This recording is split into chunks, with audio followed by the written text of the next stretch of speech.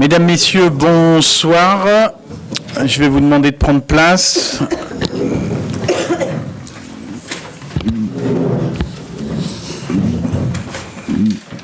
Donc d'abord, vous vous informez que Monsieur le maire euh, va nous rejoindre dans quelques minutes, qu'il est 8 heures et que c'est le moment de commencer euh, ce conseil.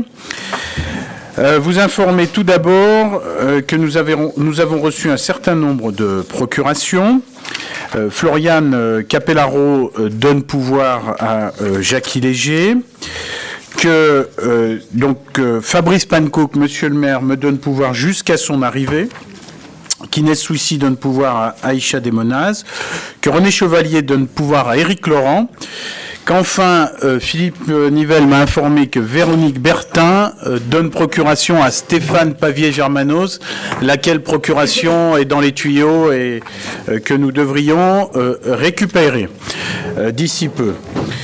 Ce que je vous propose, hein, c'est que d'ici l'arrivée du maire, euh, nous traitions euh, les points évidemment inscrits à l'ordre du jour euh, et que nous renvoyons jusqu'à son arrivée le point relatif à la réforme du stationnement, à la candidature du label village étape.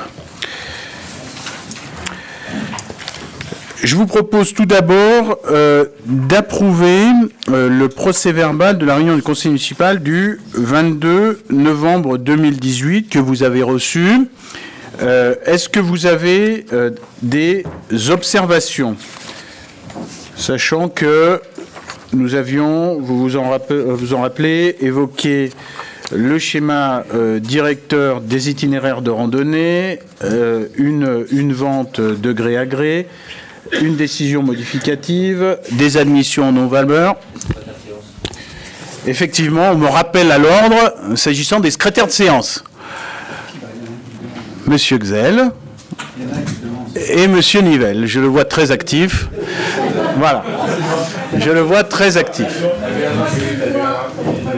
Donc les secrétaires de séance étant désignés à l'unanimité, je reviens sur ce compte-rendu euh, de la séance du 22 novembre, où nous avions également traité de la fixation des tarifs euh, communaux pour 2019, de la dissolution euh, de la régie à autonomie financière Moutier Culture et Patrimoine et de son budget, de la création donc de la régie à autonomie financière et à personnalité morale Moutier Culture et Patrimoine, de la modification de la grille des emplois communaux, de la demande de subvention au titre du VDEC, vous savez, ce fonds euh, départemental euh, pour l'aménagement d'un nouveau local pour l'espace jeune. Toujours sur euh, le VDEC, la demande de subvention pour l'aménagement d'un nouveau local à l'association des aînés ruraux. Demande de subvention au VDEC et à la CAF pour la construction d'un nouveau local aux Salines dans l'enceinte du pôle petite enfance, contrat de cession également euh, de droits patrimoniaux du neuf dans le cadre du euh, projet Street Art. Et voilà les points qui ont été évoqués. Est-ce que vous avez des observations? Très bien. Est-ce qu'il y a des... Je mets le compte-rendu au vote. Est-ce qu'il y a des oppositions, des abstentions je vous remercie. Point numéro 2, décision prise dans le cadre de, l'article L 2122-22. C'est les délégations euh, euh, que le conseil municipal a confiées au maire. Il y en a un certain nombre. Décision du 26 novembre 2018. Convention constitutive de groupement de commandes relative au marché de lavage des vitres qui était passé avec la communauté de communes. Donc nous avions passé un convention de groupement de commandes, au terme de laquelle une procédure a été euh, euh, passée et un marché public a été lancé et euh, attribué à l'entreprise Aber Propriété Azur pour un montant de 13 177,73 euros. Voilà pour la première décision. Une décision pour, euh, toujours en lien avec euh, le, précédent conseil municipal, décision de clôture de la régie de recettes Moutier Culture et Patrimoine. Une autre décision relative à une convention d'occupation de logement euh, passer avec M. Gaëtan Richard pour l'appartement numéro 15 euh, situé 157 rue des Casernes. Et enfin, une convention de mise à disposition de locaux communaux passée avec l'association Le Pélican, toujours aux rue des Casernes. Voilà pour les décisions. Alors, sur les questions inscrites à l'ordre du jour, je vous proposais de sauter le point numéro 1 et euh, de passer à la modification des statuts de la communauté de communes. Euh, ces statuts ont été déjà évoqués, euh, enfin cette modification a été évoquée en, conseil communautaire. De quoi il s'agit? En réalité, c'est un point très simple et de simplification. C'est-à-dire que la loi NOTE, nouvelle organisation territoriale de la République, a organisé un certain nombre de transferts de compétences au profit euh, des communautés de communes, euh, que l'idée euh, et la démarche qui est initiée là, c'est de toiletter en quelque sorte les statuts de la communauté de communes, les toiletter, il n'y a pas de transfert nouveau de compétences, qu'on s'entende bien. Actuellement, la, la, communauté de communes est compétente voilà, au titre de statut, et ces statuts euh, sont issus des transferts de compétences opérés par les communes au profit de la communauté de communes, ça, ça ne change pas. Et il n'y a pas de statut non plus qui reviennent de la communauté de, euh, pas de, oui, de, compétences, pardon, qui reviennent depuis les communautés de communes vers euh, la commune. Ce qui se passe, c'est simplement que on a des parties de statut qui vont désormais ne plus figurer dans les statuts, mais vont figurer dans une délibération du conseil communautaire, laquelle, euh, enfin, lequel conseil communautaire définit l'intérêt communautaire. L'architecture euh, des statuts de la communauté de communes euh, demeure la même. On a toujours des compétences obligatoires, des compétences optionnelles et des compétences facultatives. Ce qu'il y a, c'est que s'agissant des compétences obligatoires, euh, par exemple, je vous donne un exemple, euh, euh, dire que la communauté de communes siège au syndicat mixte du, pays tarentaise vanoise, voilà. Donc ça, c'est l'intérêt communautaire qui le définira. Ce ne sera, plus les statuts. pareil pour, enfin, je prends un autre exemple, la communauté de communes est compétente en matière de politique locale du commerce et de soutien aux activités commerciales d'intérêt communautaire. La compétence est toujours exercée par la communauté de communes. En revanche, ça ne figure plus au statut, mais euh, dans l'intérêt communautaire. Vous avez euh, les trois blocs comme ça qui sont réformés, qui sont toilettés. Et cette demande, je dois le dire, a été faite euh, par les services de l'État, par le, les services de la préfecture, pour, pour rentrer là dans les canons de la loi. Donc le rapport, vous l'avez, vous l'avez eu avec euh, les statuts euh, revisités. Comme je vous dis, sur le fond, ça ne change rien. C'est vraiment de la modification euh, formelle et pour rentrer dans les canons de la loi. Est-ce que vous avez des questions, des observations?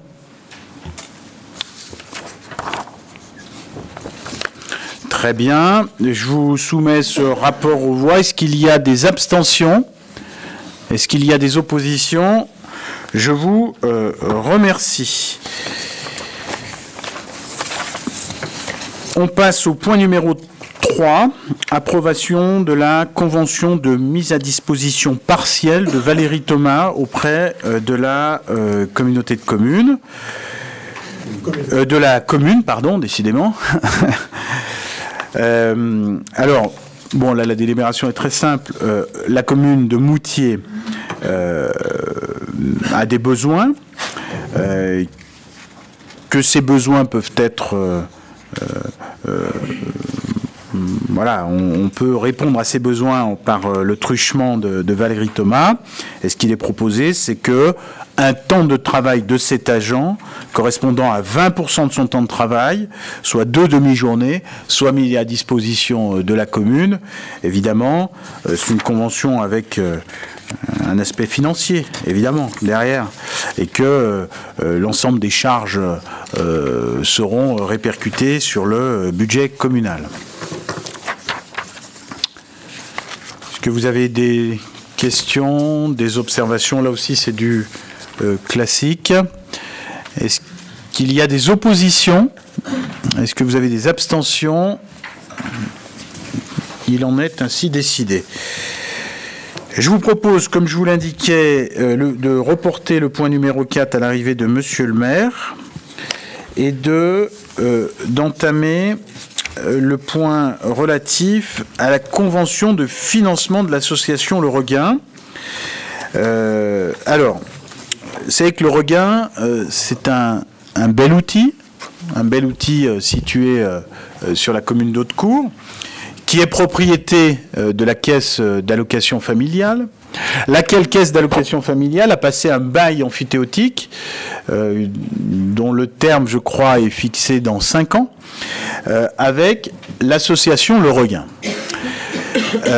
Qu'aujourd'hui, dans le cadre de l'exploitation opérée par l'association Le Regain, il y a eu un certain nombre de discussions pour savoir quel euh, pourrait être euh, l'avenir de ce site, étant entendu que la caisse d'allocation familiale ne souhaitait pas euh, le céder, et en tout cas pas le céder sans, un certain nombre de conditions sur la destination du bien. Bon.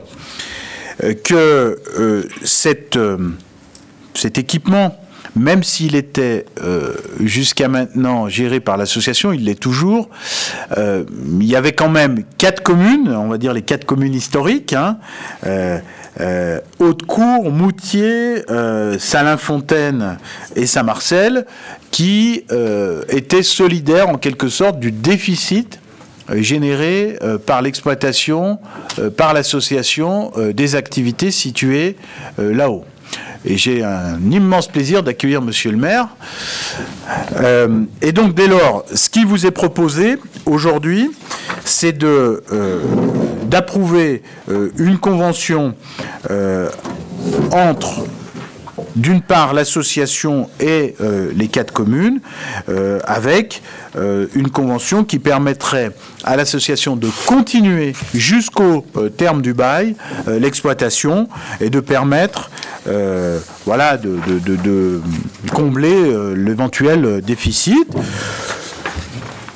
Je vais quand même demander à Aïcha et Florence, qui sont administratrices, alors l'une présidente et l'autre trésorière, de, compléter le propos, mais euh, l'essentiel a, été dit. des questions Allez-y, vas-y, vas-y, vas-y. Oui, merci, Noir. Euh, bon, il euh, n'y a pas eu de question, je n'en ai pas entendu, mais peut-être pour votre information, euh, suite à ce que vient de dire le premier adjoint, l'association Regain est donc toujours en activité dans la mesure où elle n'a pas déposé au niveau de la préfecture un dossier qui stipulerait qu'elle a été dissoute. ce site pour lequel nous avons un attachement particulier, les uns et les autres, que ce soit les gens de Moutier d'ailleurs ou les élus, nous n'avons pas souhaité euh, le laisser ainsi euh, se détériorer. C'est un équipement qui est quand même extrêmement bien situé et qui est important en termes de superficie. Nous avons été pour ce site euh, sollicités par les scouts de France site qui pourrait correspondre complètement à leurs activités, puisqu'ils ont une philosophie, je vous rappelle, un peu particulière dans le cadre de l'éducation de la jeunesse, et pour lesquels déjà une première visite a été effectuée. Suite à cette première visite, euh, ils ont souhaité effectivement euh, peut-être éventuellement le louer. Euh, pour ce faire, l'association Regain, je vous rappelle qu'aucune recette ayant cessé toute activité depuis 2015 ne rentre dans ses caisses. cet équipement a besoin d'être un petit peu restaurer, euh, rénover. Il aura bien évidemment besoin euh, d'avancer certaines dépenses. Euh, suite à une réunion qui a fait l'échange entre les différents maires, les maires qui ont décidé évidemment de maintenir cette activité et de participer à la même hauteur des dépenses, c'est-à-dire que les dépenses seront divisées par quatre. Donc pour répondre par la positive à des sollicitations extérieures, pour continuer à maintenir une activité du même genre que nous avions par le passé, nous n'avions d'autre choix que de ressolliciter euh, les communes pour abonder euh, financièrement aux futures dépenses euh, et ainsi peut-être redonner vie à cet équipement qui nous tient à cœur. Voilà moi ce que j'en aurais à dire. Maintenant, s'il y a des questions. Monsieur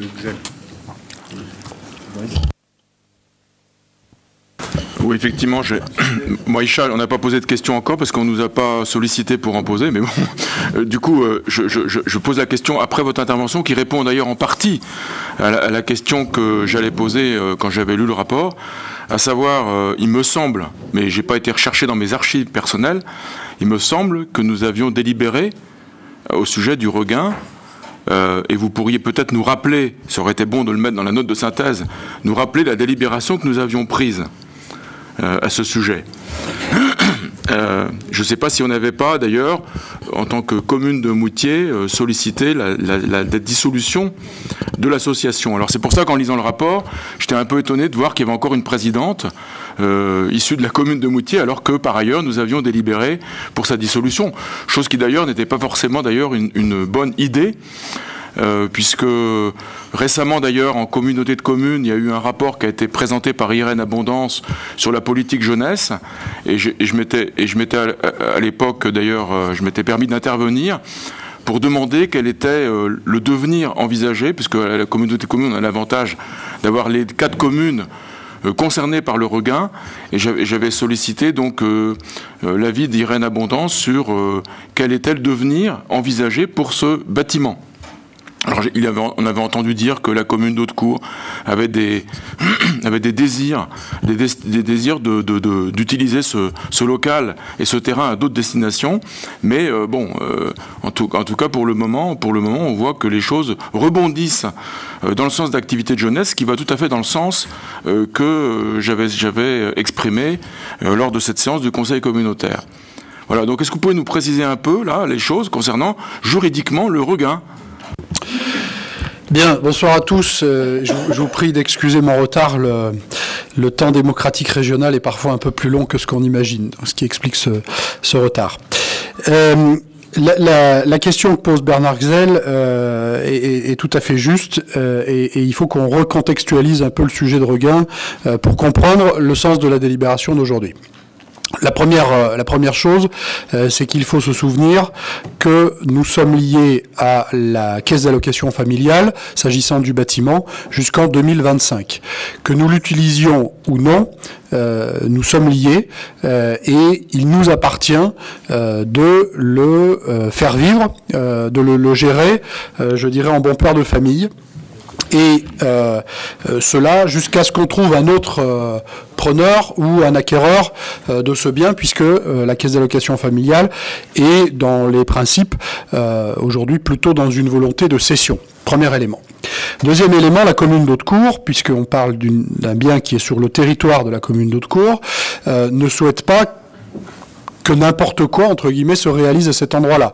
Et c'est d'ailleurs pour ça que la commune d'Hautecourt, fort légitimement, euh, a, dans son PLU euh, bordé euh, le sujet et mis un certain nombre de règles restrictives pour que la commune soit associée et puisse quelque part orienter la destination de ce bâtiment, pour lequel, globalement, la commune est évidemment ouverte à des projets qui seraient en direction de la jeunesse, des projets qui seraient d'intérêt général.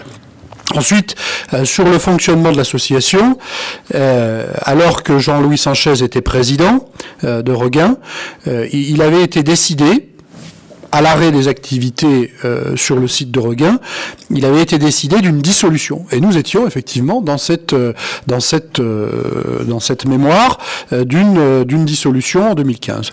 Et dernièrement, ces derniers mois. Euh, lorsqu'on a, euh, on s'est réunis euh, pour rechercher la manière avec laquelle nous allions pouvoir accompagner les années qui nous restent d'engagement avec la CAF sur le sujet, on s'est dit il faudrait bien qu'on ait une, structure porteuse à défaut d'avoir une commune qui soit porte-fort, les deux possibilités s'offrant à nous. Et, donc on a voulu rechercher l'histoire de nos actes administratifs concernant la dissolution. Et c'est là où on s'est rendu compte qu'en réalité, euh, il y a eu une volonté de dissolution, mais que les actes n'ont jamais été communiqués à la préfecture. Euh, et donc, d'un point de vue légal, l'association n'a jamais été euh, officiellement dissoute.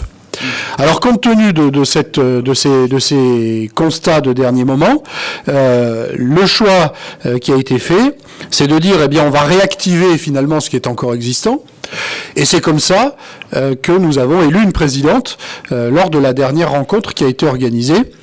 Euh, et c'est comme ça que la délibération qui nous arrive aujourd'hui trouve son sens. Voilà.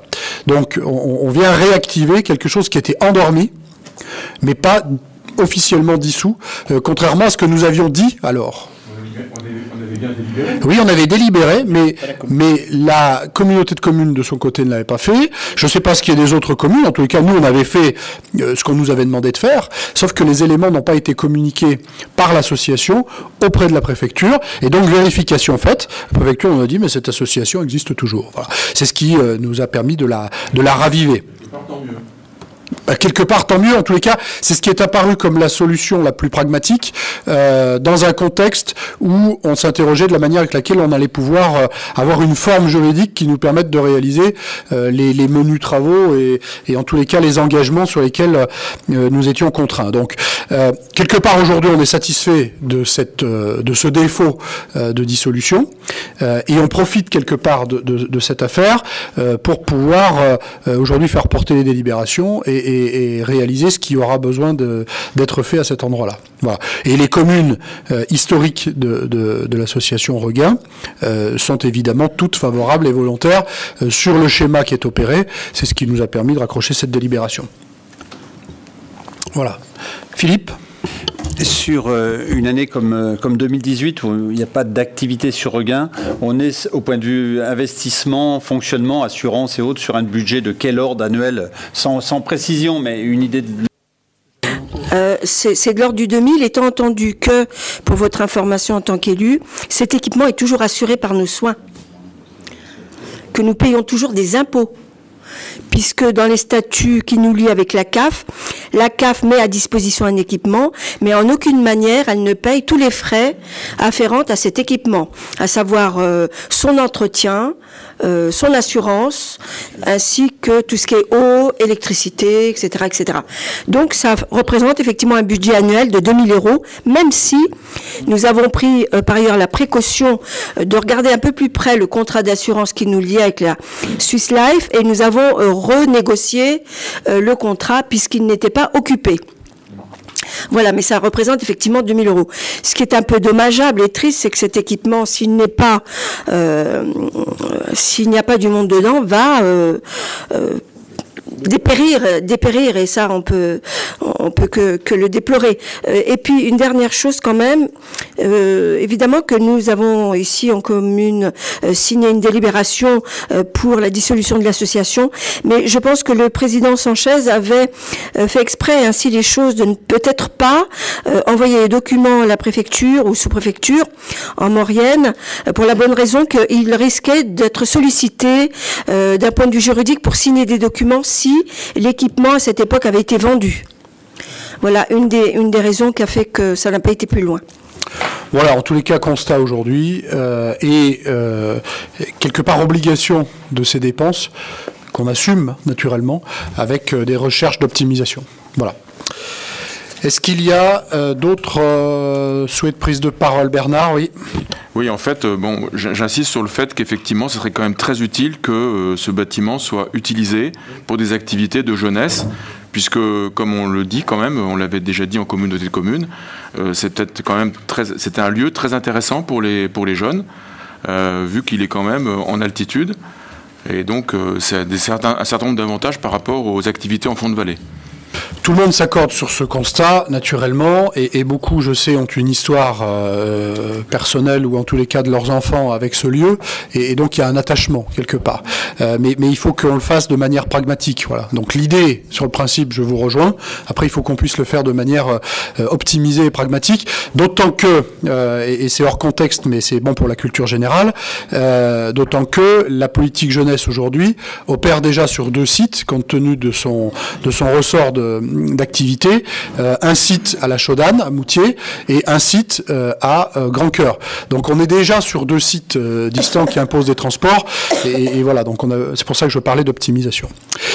Je vous propose donc que nous délibérions sur ce point. Est-ce qu'il y a des oppositions? Je participe pas au vote. Alors, ni, ni Aïcha ni Florence ne prennent pas part au vote. Des abstentions? Eh bien, je vous remercie. Je vous propose peut-être qu'on revienne euh, du coup vers le début de notre ordre du jour euh, et le point 1 avec euh, la réforme du stationnement. Alors, sur ce sujet de, de, la réforme du stationnement, on est sur un sujet qui est évidemment important. peut-être Philippe, est-ce que tu souhaites intervenir tout de suite ou plutôt après? Plutôt après, très bien. Donc, euh, je, dis ça parce que euh, il faut saluer tous ceux qui euh, ont travaillé sur ce dossier, qui est un dossier au long cours, et notamment Philippe Soublin qui a été plus directement engagé et qui a conduit un certain nombre de, de rencontres et d'échanges sur le sujet.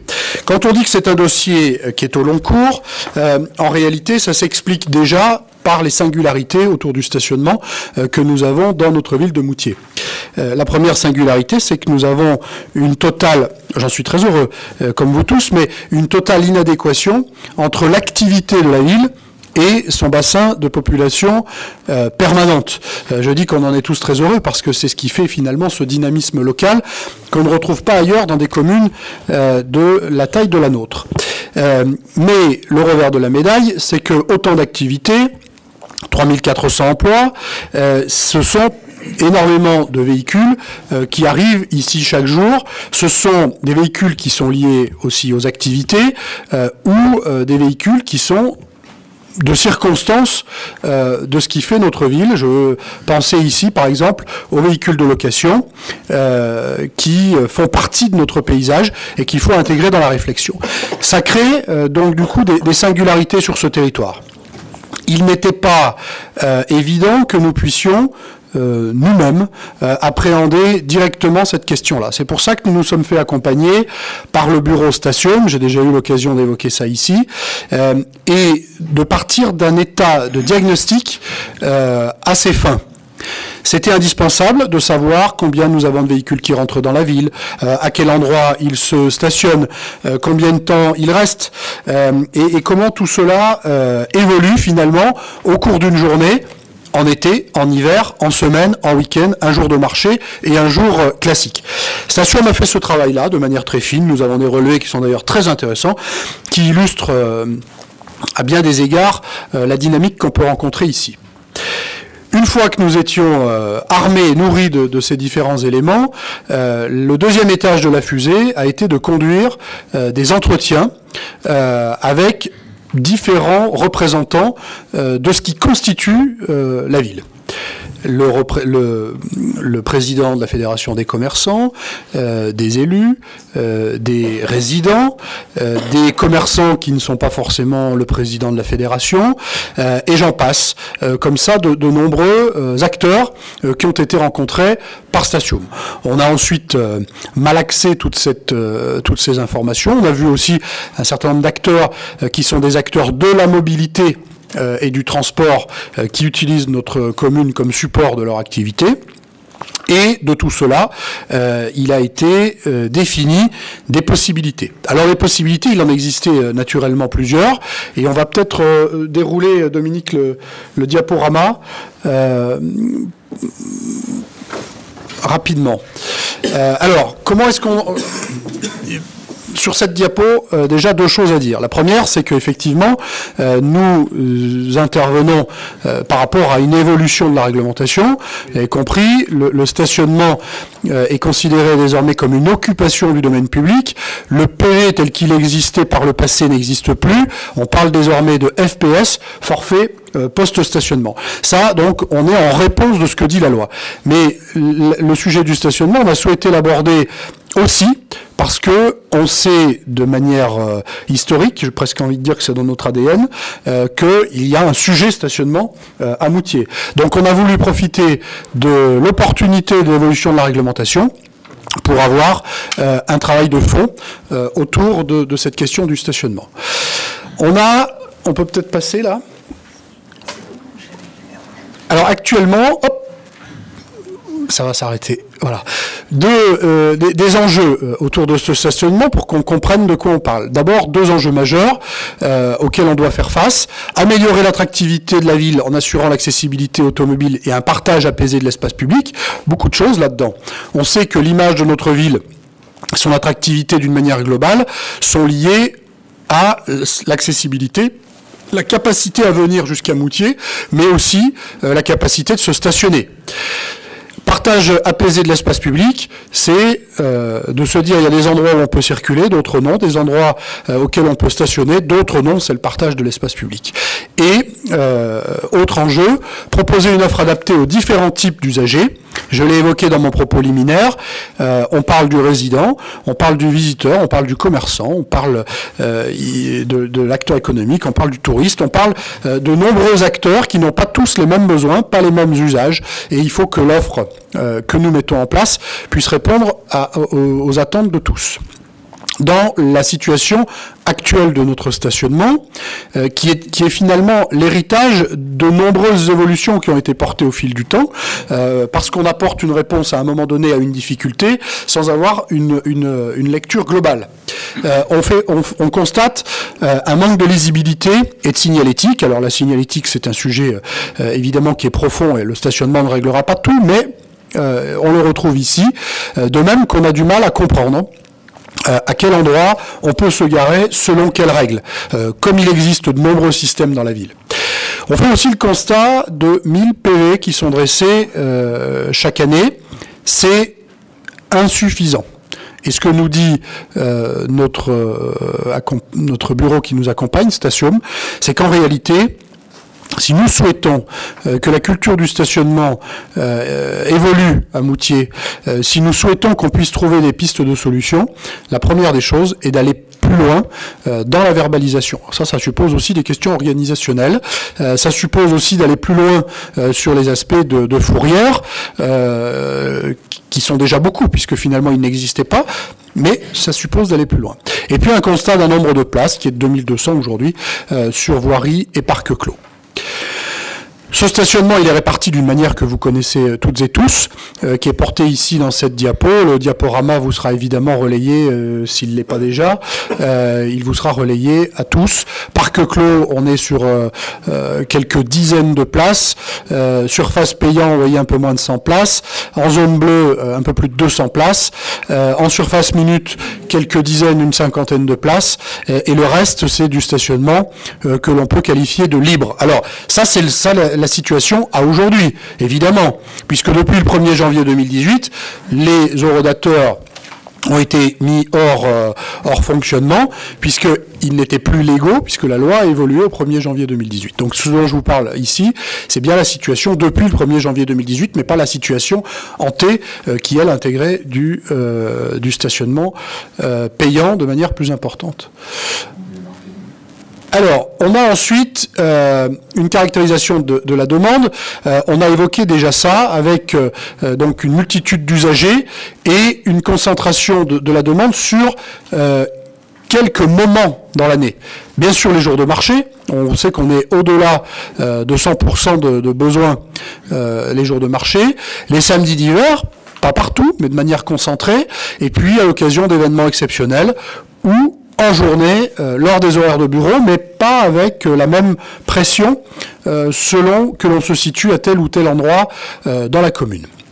Ça, je ne vais pas vous le détailler, mais ce qu'il faut en retenir, c'est que nous avons fait face à deux principes généraux d'organisation. un principe qui est le scénario payant, et un principe qui est le scénario zone bleue, euh, c'est-à-dire globalement ce qui, ce qui aujourd'hui euh, existe euh, un peu déjà sur le territoire.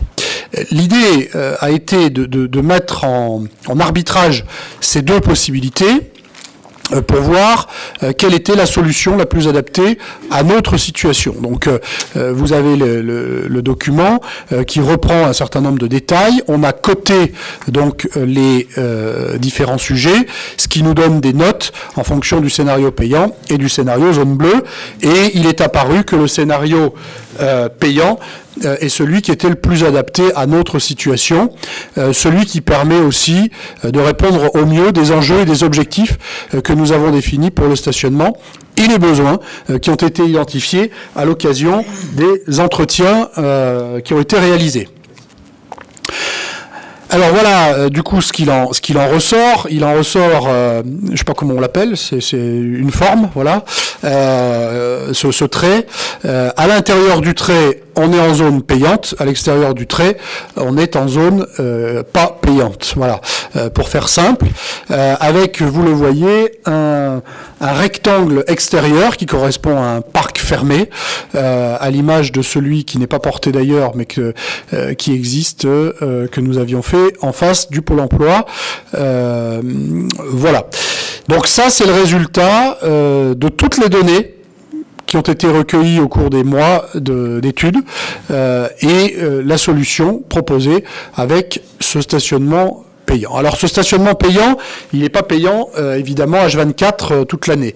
On est sur un stationnement payant qui est de 9h à 18h avec une gratuité euh, à l'occasion de la pause méridienne, euh, parce qu'on voit bien qu'il y a un mouvement sur les véhicules euh, pendant la pause méridienne, avec des véhicules qui partent de personnes qui rentrent chez elles pour déjeuner, et à l'inverse d'autres qui viennent rejoindre Moutier pour se restaurer en ville. Une gratuité le samedi et le dimanche, parce qu'on sait très bien que le samedi et le dimanche, on n'est pas très en tension, à l'exception de quelques samedis d'hiver, mais euh, on n'est pas en tension euh, le samedi et le dimanche. Euh, et là, c'est un signe qui est important parce que ça veut dire que pour les résidents et pour ceux qui souhaitent venir dans les commerces, par exemple, le samedi, eh bien, il y a une facilité qui est donnée, il y a une faculté qui est donnée, et puis l'importance pour les résidents qui retrouvent du coup le, le samedi et le dimanche une gratuité. 30 minutes gratuites. Alors ce sujet euh, des 30 minutes, il est très discutable. Euh, il est très discutable euh, parce qu'on peut penser que c'est trop et que zéro serait mieux, parce qu'on peut penser qu'une heure serait plus adaptée tous les arguments qui sauraient être opposés sont sans doute de très bons arguments. Mais il y a un moment donné où, euh, quand on veut décider, il faut choisir. Euh, et donc le choix s'est porté pour 30 minutes euh, à la lumière d'arguments qui sont ceux que nous avons retenus et qui sont forcément aussi de bons arguments, notamment eu égard la, la possibilité de se dire que comme l'heure euh, ensuite est à 50 centimes, ça permet d'avoir 1h30 euh, pour 50 centimes. L'idée aussi de se dire, c'est que si on est sur un arrêt court, ben, ma foi, il n'y a pas euh, du tout de paiement, que 30 minutes en même temps, ça permet de faire des choses, mais si on veut réellement aller se promener en ville ou aller, etc. 1h30, c'est plus adapté. Donc voilà, voilà pourquoi on est venu à 30 minutes gratuits. Euh, avec la première heure, ça fait tout de suite euh, une heure et demie. Et puis on est sur un stationnement qui est souhaité de deux heures. Alors ce stationnement souhaité de deux heures, euh, en réalité, il correspond là aussi à toutes les données que nous avons malaxées dans tous les sens pour arriver au fait que ce, ce, stationnement de deux heures, c'est celui qui correspond aux besoins euh, qui ont été identifiés. Ça veut dire qu'au-delà de deux heures, on est sur un stationnement qui devient euh, tout de suite plus cher. Puisque vous voyez, euh, pour deux heures, c'est 1h30, pour trois heures, c'est 6 euros. Donc au-delà de deux heures, l'idée, c'est qu'il y ait une véritable croissance du coût ce qui permet d'assurer une plus grande, une plus grande, un plus grand flux, un plus grand turnover des véhicules.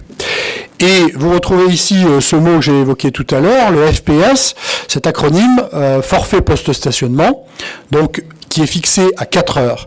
Et en réalité, euh, ce que j'ai oublié de, signaler tout à l'heure, c'est que le forfait post-stationnement, euh, c'est celui qui détermine en fait la verbalisation, qui ne s'appelle plus verbalisation, mais occupation du domaine public. Et vous voyez, au-delà de 4 heures, euh, là, pour 4 heures, c'est 24 euros, et c'est ce qui détermine le forfait post-stationnement. C'est-à-dire qu'un véhicule qui ne serait pas euh, passé par le paiement, et ça, c'est dans toutes les villes. Hein, je c'est pas un truc qu'on a inventé. Euh, c'est le fait de la loi d'ailleurs aujourd'hui. un véhicule qui serait donc en défaut, toutes les 4 heures, ça lui coûte 24 euros ce qui est évidemment très cher. Euh, mais ce qui est, euh, quand on regarde autour de nous, euh, le tarif qui se pratique globalement, en moyenne en tous les cas, dans toutes les communes qui sont autour de nous, et celles qui ont du stationnement payant naturellement. ce que j'ai oublié de préciser tout à l'heure, c'est que lorsque nous sommes en stationnement, en zone de stationnement payant, comme c'est une occupation du domaine public, tout élément de paiement ou de contravention vient directement dans les caisses de la commune. En zone bleue, ça n'est pas la même chose, et donc ça n'est pas vers la commune que euh, viennent les sommes euh, de contravention. Donc vous retrouvez effectivement cette grille tarifaire, et là on comprend effectivement euh, de quoi on parle. Alors, L'idée, c'est aussi de pouvoir disposer d'arrêt minutes quand je m'arrête euh, pour aller euh, chercher euh, le journal, quand je m'arrête pour aller à la pharmacie. évidemment, j'ai pas besoin de passer à l'eurodateur parce que je sais que mon arrêt minute va suffire. Donc, on a une première identification de place arrêt minute en fonction des activités euh, qui nécessitent, justifient, légitiment euh, l'arrêt minute. Pharmacie, euh, pharmacie, boulangerie et tabac étant ceux qui sont identifiés dans toutes les villes et qu'on a repris ici à notre compte également.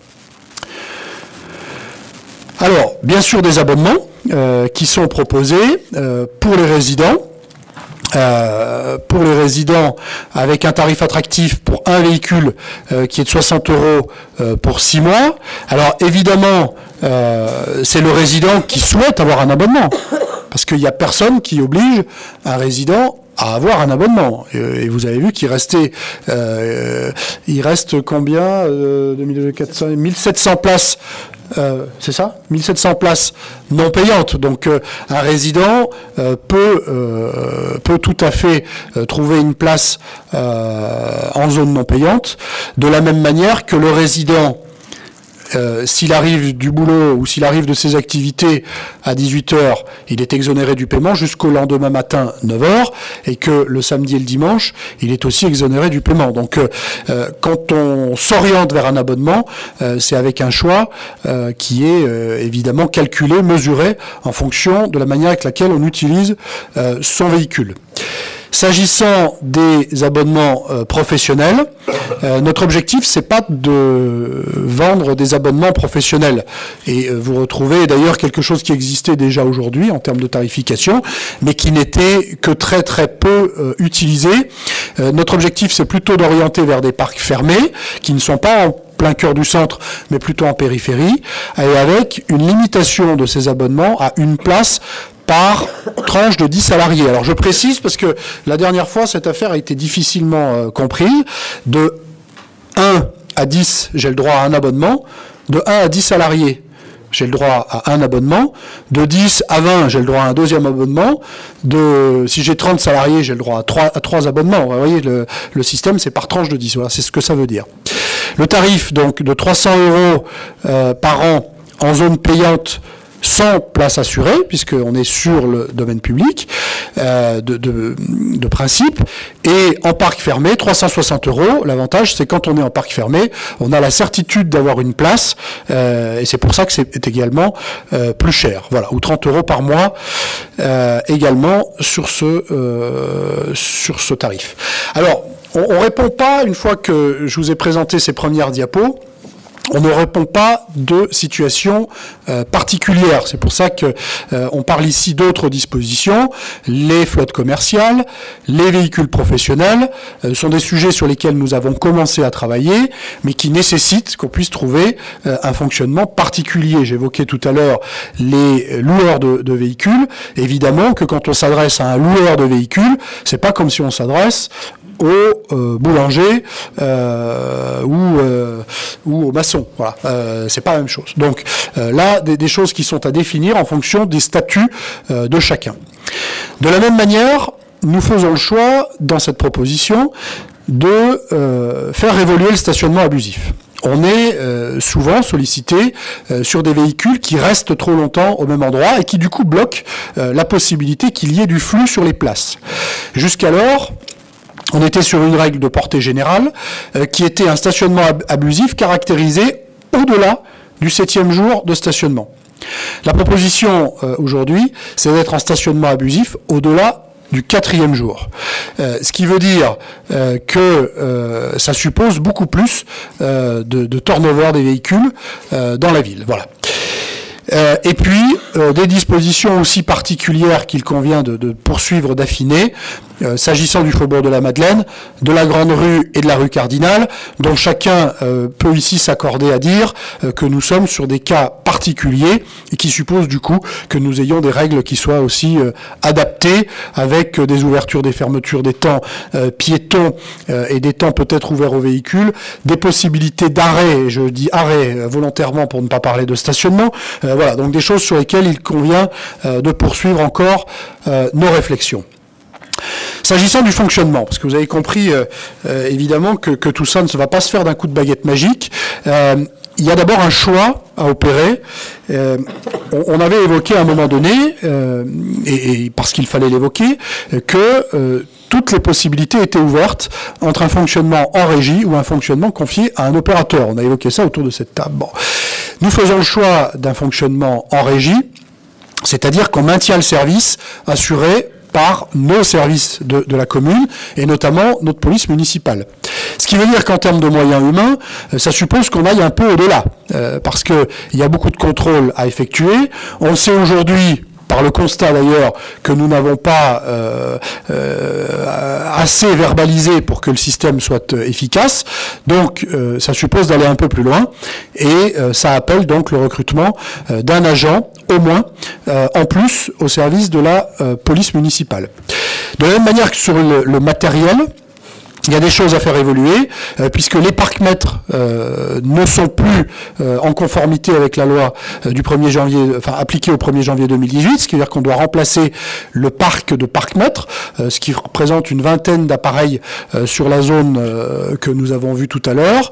de la même manière qu'on souhaite faciliter le paiement en ligne ou à distance, alors tout ça est aujourd'hui très adapté, vous le vous l'avez découvert d'ailleurs comme comme chacun lorsque vous allez en ville là où c'est payant qu'on puisse aussi adapter euh, les stationnements.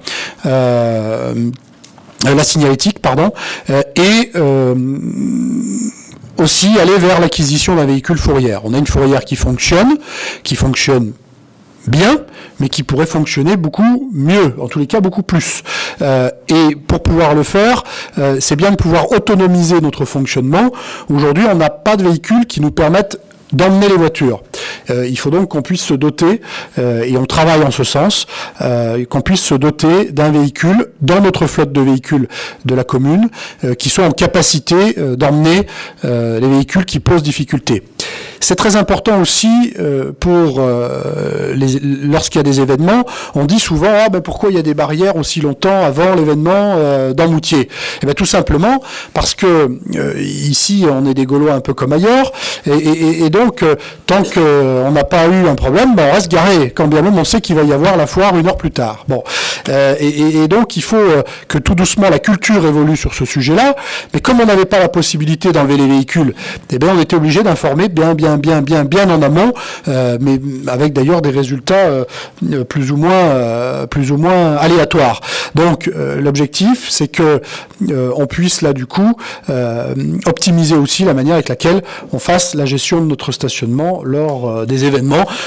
Enfin, finalement, comme ça se pratique partout ailleurs, partout ailleurs où on a une gestion du stationnement. Voilà. Quelques chiffres euh, en termes de coûts pour euh, se, projeter. L'objectif, c'est évidemment qu'on puisse équilibrer euh, les, les affaires entre les dépenses et les recettes, en sachant qu'il y a des investissements à faire, puisque ce que je n'ai pas évoqué encore, c'est que dans les réflexions qui sont à poursuivre sur le moyen terme, c'est la construction de parkings ouvragés, de parkings silos, et on a quelques pistes, des pistes très simples du côté de la Chaudane, sur lesquelles nous allons commencer à travailler, des pistes un peu plus euh, complexes ou en tous les cas un peu plus élaborées euh, du côté euh, du cimetière, par exemple, avec la création de boîtes de véhicules qui coûtent évidemment beaucoup d'argent et, donc il faut assurer le, portage de ces opérations. Donc on est globalement sur des charges d'exploitation qui sont estimées par an à 130 000 euros euh, et des recettes, vous le voyez, qui sont estimées à 170 000 euros. Euh, notre directeur général des services a pour habitude de dire qu'il a euh, pas pas il n'a pas vu de manière minorée les charges d'exploitation, mais qu'il a vu de manière très minorée les recettes. Alors, comme j'ai pour habitude de lui faire confiance, je suis plutôt confiant sur la manière avec laquelle on va être capable normalement de dégager quelques marges ces quelques marges étant euh, destinées à euh, payer les investissements, d'abord l'investissement de, parc-mètres euh, et ensuite l'investissement de parking, de nouvelles solutions de stationnement. De la même manière que dans les investissements à venir, dans les réflexions, je vous dis pas que ça va être que ça puisse être fait tout de suite, mais l'idée c'est de pouvoir, par exemple sur les stationnements minutes ou sur les oui sur les stationnements minutes, de pouvoir disposer de de dispositifs euh, qui du coup euh, donnent une alerte euh, lorsque le stationnement est dépassé, lorsque le droit de stationnement est dépassé,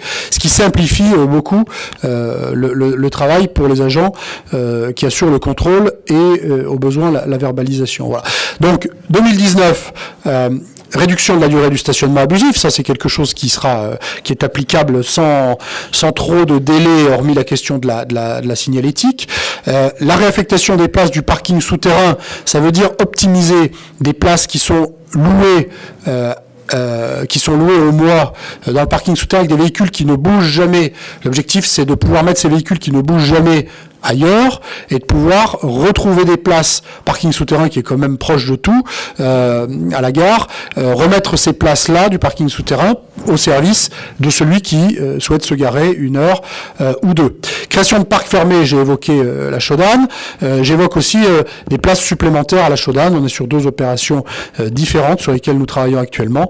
Et l'étude pour des parkings à étage c'est ce que j'appelais tout à l'heure parking ouvragé. Voilà. Et puis à l'horizon 2020-2021 eh bien, euh, quelques projets de parking. Euh, ce sont aujourd'hui des, idées euh, sur lesquelles on a commencé à travailler. Hein. Ne retenez pas que en 2021 il y aura de construire à cet endroit-là un parking. en tous les cas, on est on est sur une approche en termes de faisabilité et de mise en œuvre, soit soit en direct, soit de manière accompagnée, au moins pour les parties des parkings ouvragés. Voilà les quelques éléments qui permettent de comprendre à tout le moins euh, ce dossier. Je vais donner la parole à Philippe Soublin euh, pour qu'il donne sa note d'ambiance et qu'il complète euh, là où il y a des carences. et puis je vous propose qu'on mette au débat ce sujet. Alors, je ne m'autoriserai pas à compléter euh, parce que je crois que tu étais plus que complet par rapport euh, à, à la présentation du stationnement. Hein, donc, été un travail qui a, été assez long quand même, euh, avec le bureau station, mais aussi avec comment, Dominique Assier et Jean-Charles Massiago qui ont bien contribué à ce qu'on puisse voir, comment dire, pas mal de personnes pour vraiment donner une image de stationnement dans les, prochains mois. Je pense que ce que vous avez là, c'est l'image du stationnement qui devra être dans Moutier, avec bah, certainement des choses qui plaisent ou qui plaisent pas. Mais il faut à un moment prendre une décision par rapport à comment dire à, comment dire à sa problématique du stationnement. Et je pense qu'on est là sur euh, comment une euh, une bonne voie. Hein, je peux pas en rajouter plus, dire seulement que bah, on écoute vos questions. Alors sur un sujet comme celui-là, je te donne tout de suite la parole Philippe. Sur un sujet comme celui-là, Philippe et Bernard, euh, sur un sujet comme celui-là, si tout le monde est satisfait, c'est qu'on a dû se planter. Si personne n'est satisfait, c'est qu'on doit être à peu près à l'équilibre. Voilà. Philippe. Alors, je vais commencer par dire la satisfaction. Non, non, la satisfaction. Je, vois que quelqu'un qui arrive dans un hôtel, par exemple, peut séjourner depuis 18h euh, jusqu'à 11h le lendemain matin pour 1,50€. C'est déjà une remarque. J'ai un certain nombre de questions très courtes, mais je ne veux pas faire durer le débat. Euh, par exemple, quelqu'un prend le train pour une semaine et il faudra qu'on puisse proposer des endroits en parc extérieur peut-être, mais parce que, que le gars, on part au-delà de 4 jours, euh, tu laisses tu laissais ta voiture quelque part, aujourd'hui tu la retrouves à la fourrière. Voilà. Non, non, mais je ne veux pas te couper, mais je le dis juste parce que effectivement on est passé peut-être un peu vite, mais c'est pour ça qu'on a évoqué les possibilités de location à la semaine sur les parcs fermés. Parce que ça correspond justement à ça. Voilà. Par exemple. En tous les cas, l'idée c'est de trouver des solutions adaptées. Ça ne Ça répond pas à tout, hein, mais il faut trouver des solutions adaptées à chaque situation. Euh, sur le, document, il faudra rajouter également que la gratuité est sur les jours fériés, sur la présentation. Parce que j'ai vu samedi et dimanche, c'est dans la délibération, mettons-le. Euh, pour les véhicules professionnels, est-ce que les auto-écoles sont considérées comme des véhicules professionnels? Alors, les auto-écoles répondent d'une législation qui est particulière, euh, qui, ouvre un certain nombre de droits, euh, mais qui n'ouvre pas non plus tous les droits. Donc, on a précisé, Philippe, ces derniers jours, entre hier et aujourd'hui, un certain nombre de dimensions sur ces questions des auto-écoles, qui sont sur un statut, entre guillemets, particulier, mais qui ne répondent pas des dispositions des autres véhicules professionnels une précision pour les, les abonnements pour les résidents quelle durée, enfin, je prends une place, je suis dans la zone concernée, je prends une place à 60 euros par exemple, ça m'autorise à rester stationné combien de temps pour ça? Autant que tu veux. C'est le sens de l'abonnement. Oui. Et c'est pour ça que l'objectif, en fait, quand je, quand je dis tout à l'heure, il faut que euh, si personne n'est content, c'est qu'on a répondu aux besoins. Euh, en réalité, c'est ça, parce que euh, on, peut pas être. notre objectif, c'est pas non plus d'avoir que les abonnements, parce que sinon, on, on, a une configuration qui fait qu'évidemment, on peut remplir tout avec que des abonnements résidents. Et, donc l'objectif, c'est qu'effectivement, on puisse partager cet espace public. C'est ça, en fait, toute la difficulté de l'exercice, c'est d'arriver à trouver des, conditions et moyens euh, qui permettent finalement d'une situation équilibrée. Dans tes explications qui étaient très claires, une question sur euh, le parking souterrain. Est-ce que les personnes qui actuellement euh, loue au mois ou, pour euh, quatre mois en hiver, on déplacera ce stationnement hors du. Euh, c'est ce que tu veux faire C'est ce que j'ai évoqué. en fait, celui qui, celui qui a un abonnement qui soit de 4 mois ou à l'année, en fait, le, profil type, pour, pour préciser peut-être mon propos, le profil type, c'est celui qui dispose d'une résidence secondaire, pas forcément à Moutier, mais en tous les cas autour, qui habite en région parisienne, je fais vraiment le stéréotype. Il vient il arrive le vendredi soir ou le jeudi soir, il prend avec le train, il prend la voiture qui est dans le euh, parking souterrain, il sort de Moutier avec cette voiture, on ne le revoit pas, il revient le dimanche soir, il remet la voiture dans le parking et on ne le revoit plus non plus puisqu'il est monté dans le train. Ce qui veut dire qu'il n'a, euh, il, ne contribue pas en aucune manière euh, à, la vie de à la vie de Moutier c'est pas pas un habitant qui peut contribuer à la vie sociale euh, ou culturelle euh, ou sportive. Euh, c'est pas non plus un consommateur qui nous serait entre guillemets utile au sens de l'économie locale. c'est finalement un individu qui va nous donner 30 euros par mois et qui va finalement coûter très cher parce que une place comme celle des, comme ces places du, parking souterrain sont des places qui, qui coûtent dans l'absolu très cher à, mettre en œuvre. Donc l'idée, c'est plutôt que ceux-là, euh, ceux qui laissent ces véhicules-là euh, et qui ne contribuent en aucune manière euh, à, la vie de, de Moutier, et peut-être à faire quelques centaines de mètres à pied, ce qui n'est quand même pas le bout du monde quand on vient chercher sa voiture une fois par semaine quelques centaines de mètres à pied, euh, et que du coup on redégage en, cœur d'activité euh, des places qui, elles, pourront tourner. Voilà. Parce que quand bien même en plus la voiture de, du locataire euh, est, pas sur la place de stationnement, comme ce sont des places marquées pour abonnés, ça veut dire qu'on ne peut même pas les utiliser quand bien même elles sont vides. Donc voilà, l'idée c'est d'optimiser ces places qui sont au plus proche de l'activité. Merci. Enfin, ma dernière question, c'est la mise en fourrière intervient au bout de combien de FPS Un FPS 24 euros. Euh, est-ce que la mise en fourrière sera au bout de la cinquième heure ou alors, c'est la question que tu poses est, simple et complexe. Euh, parce qu'en réalité, un véhicule qui est, qui est mis en fourrière, ça peut être pour des tas de conditions.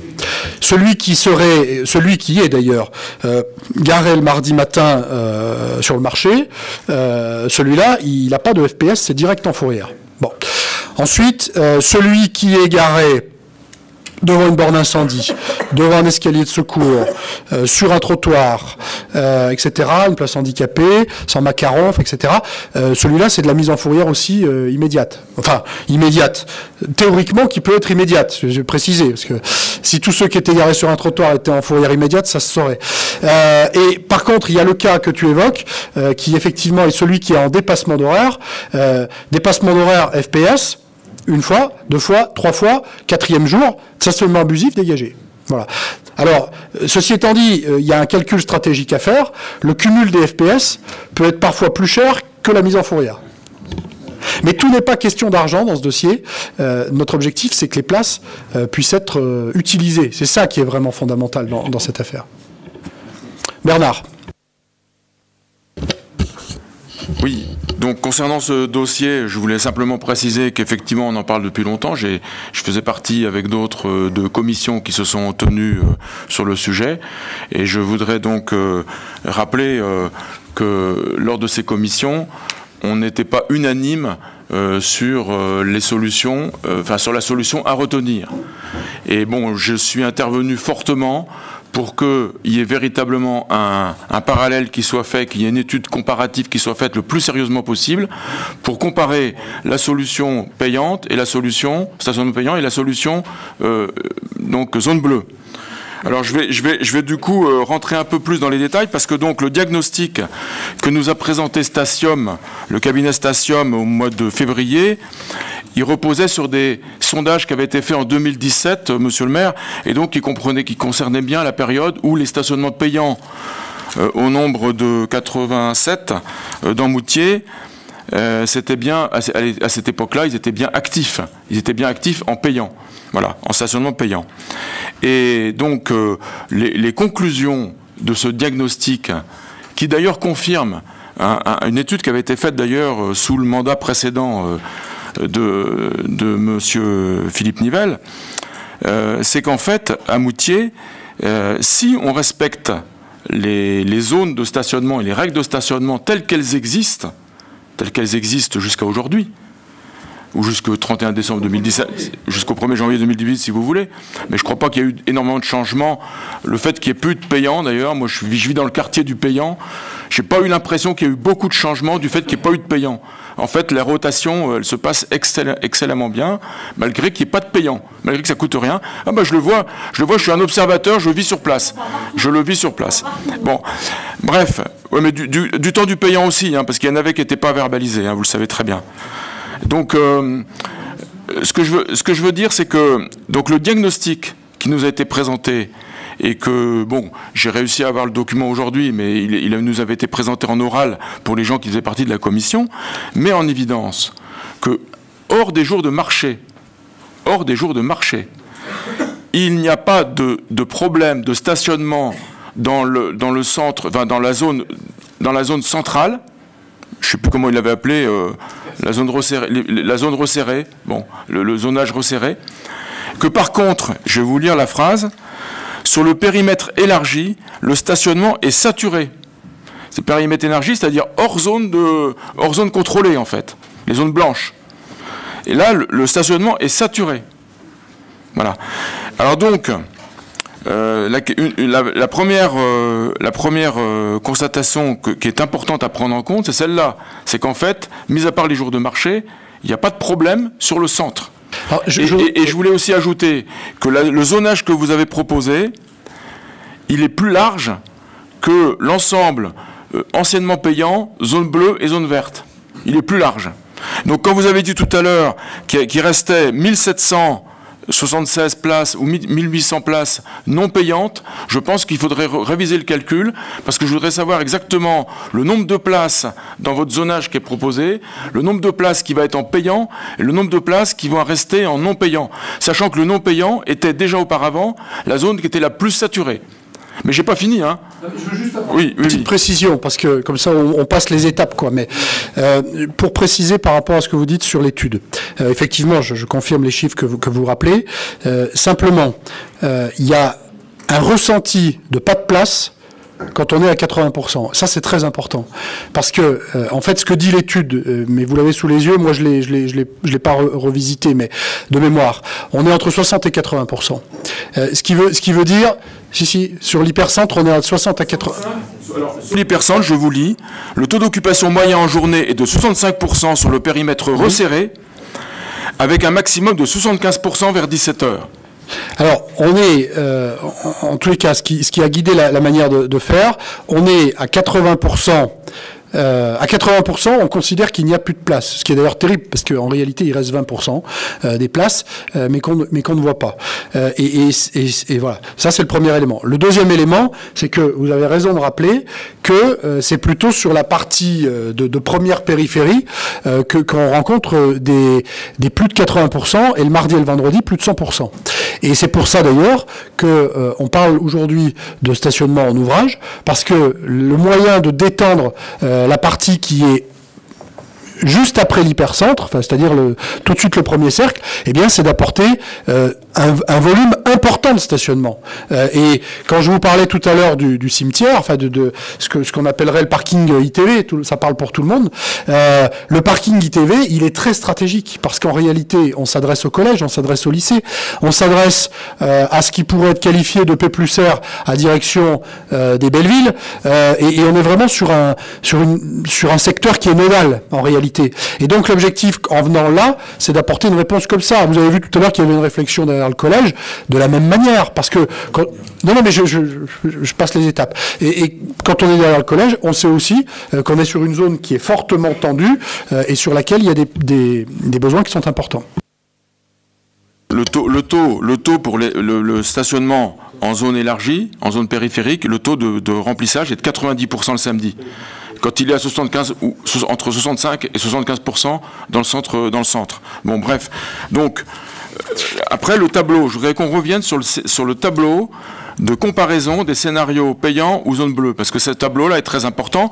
Et contrairement à ce qui a été mis dans le rapport euh, Statium, euh, Monsieur Assier, la commission n'était pas unanime pour dire d'emblée, dès la première réunion, que le payant était la meilleure solution. Effectivement, je me suis, je me suis opposé à un sentiment que j'avais qu'on partait d'emblée sur le payant comme étant la meilleure solution. C'est le sentiment que j'avais, et je ne m'étais pas trompé.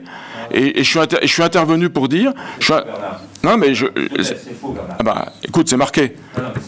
C'est marqué dans le document de, de Statium. Dis pas, dis pas qu'on est parti dis pas qu'on est parti au départ sur du, sur du payant avant de partir sur les zones bleues.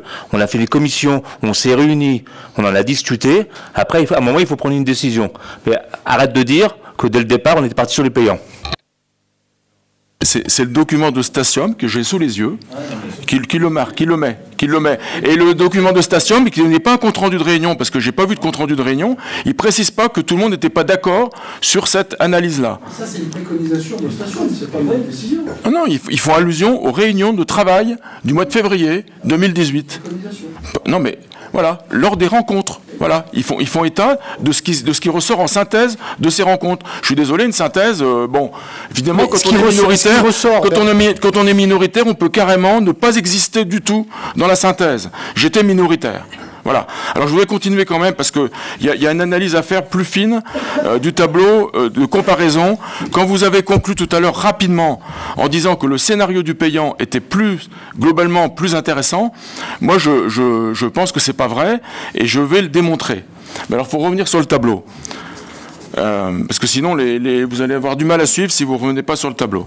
Donc, les critères, lisibilité de la réglementation, quand, on est en, payant ou quand on est en zone bleue, bon, la lisibilité, on pourrait dire qu'elle est à peu près identique, sauf que, sauf que, euh, en payant, des fois, ça peut être des fois compliqué pour les gens de, de, de se repérer, de savoir, parce que moi quand je vais à Chambéry, je suis un peu perdu pour savoir quel est le tarif, etc., etc.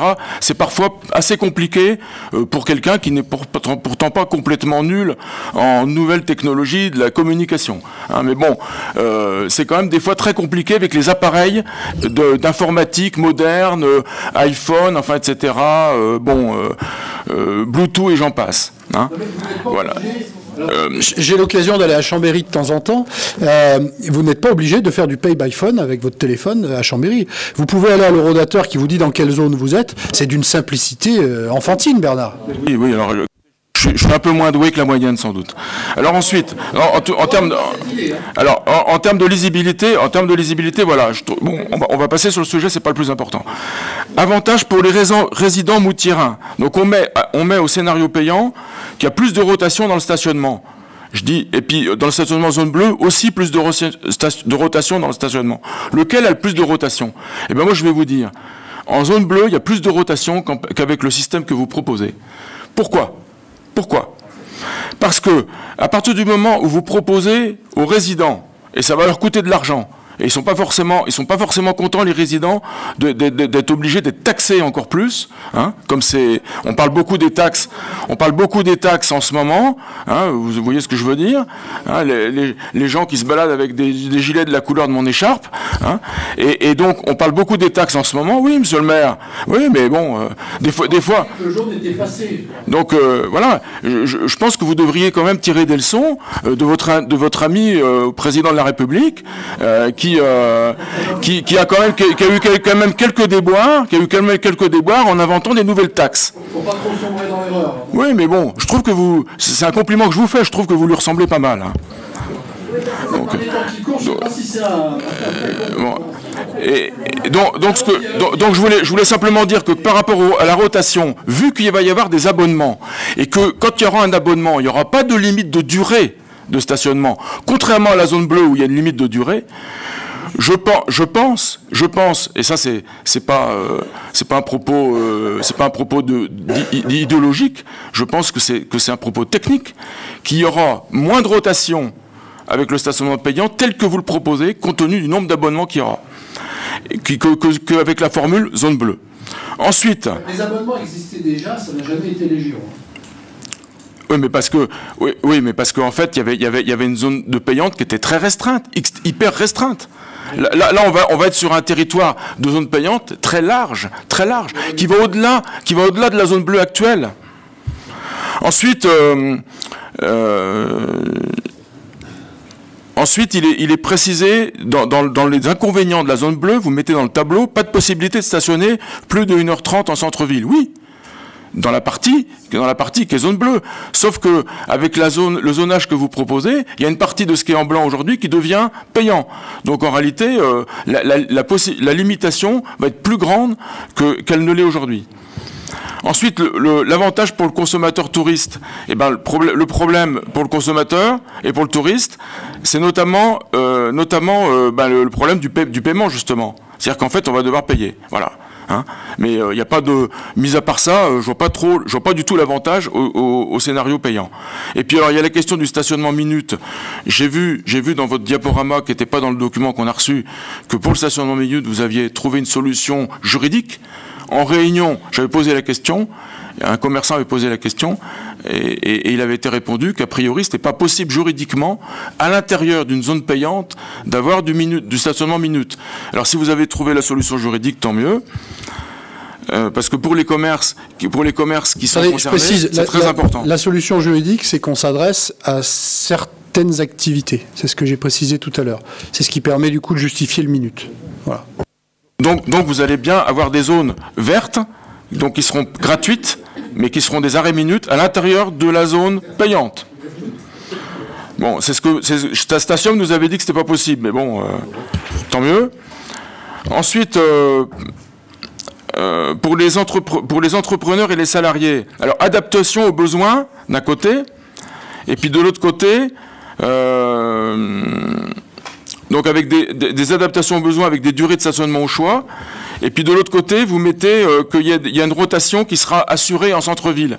Soit soit les, besoins, on s'adapte aux besoins notamment des salariés des commerces, et à ce moment-là, ils vont pouvoir rester garés toute la journée, soit on, favorise la rotation, mais on ne peut pas faire les deux. Il y, a, une contradiction. Ensuite, vous mettez dans le, tableau, euh, pour concernant la zone bleue, vous mettez que la zone bleue nécessite du personnel supplémentaire. Or, on vient de le voir, pour le stationnement payant aussi il faut du personnel supplémentaire. Donc je dirais que de ce point de vue-là, je vois vois pas en quoi la zone bleue est pénalisante.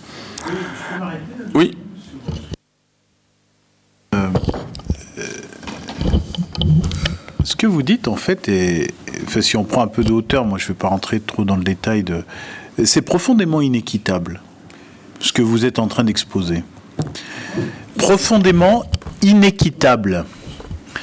C'est-à-dire que considérer que étendre la zone bleue sur tout le périmètre, euh, bon, en soi, c'est pas une mauvaise idée, mais ça veut dire quoi? Ça veut dire que c'est le contribuable qui va payer, les contribuable qui a une voiture ou qui n'en a pas, qui va payer toutes les charges afférentes au stationnement.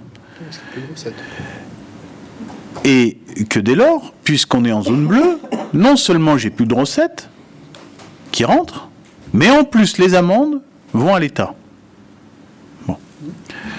Moi qui n'ai pas de voiture, c'est profondément injuste. Je vais payer des impôts pour ceux qui utilisent des voitures et qui en plus usent et abusent de l'utilisation de la voiture.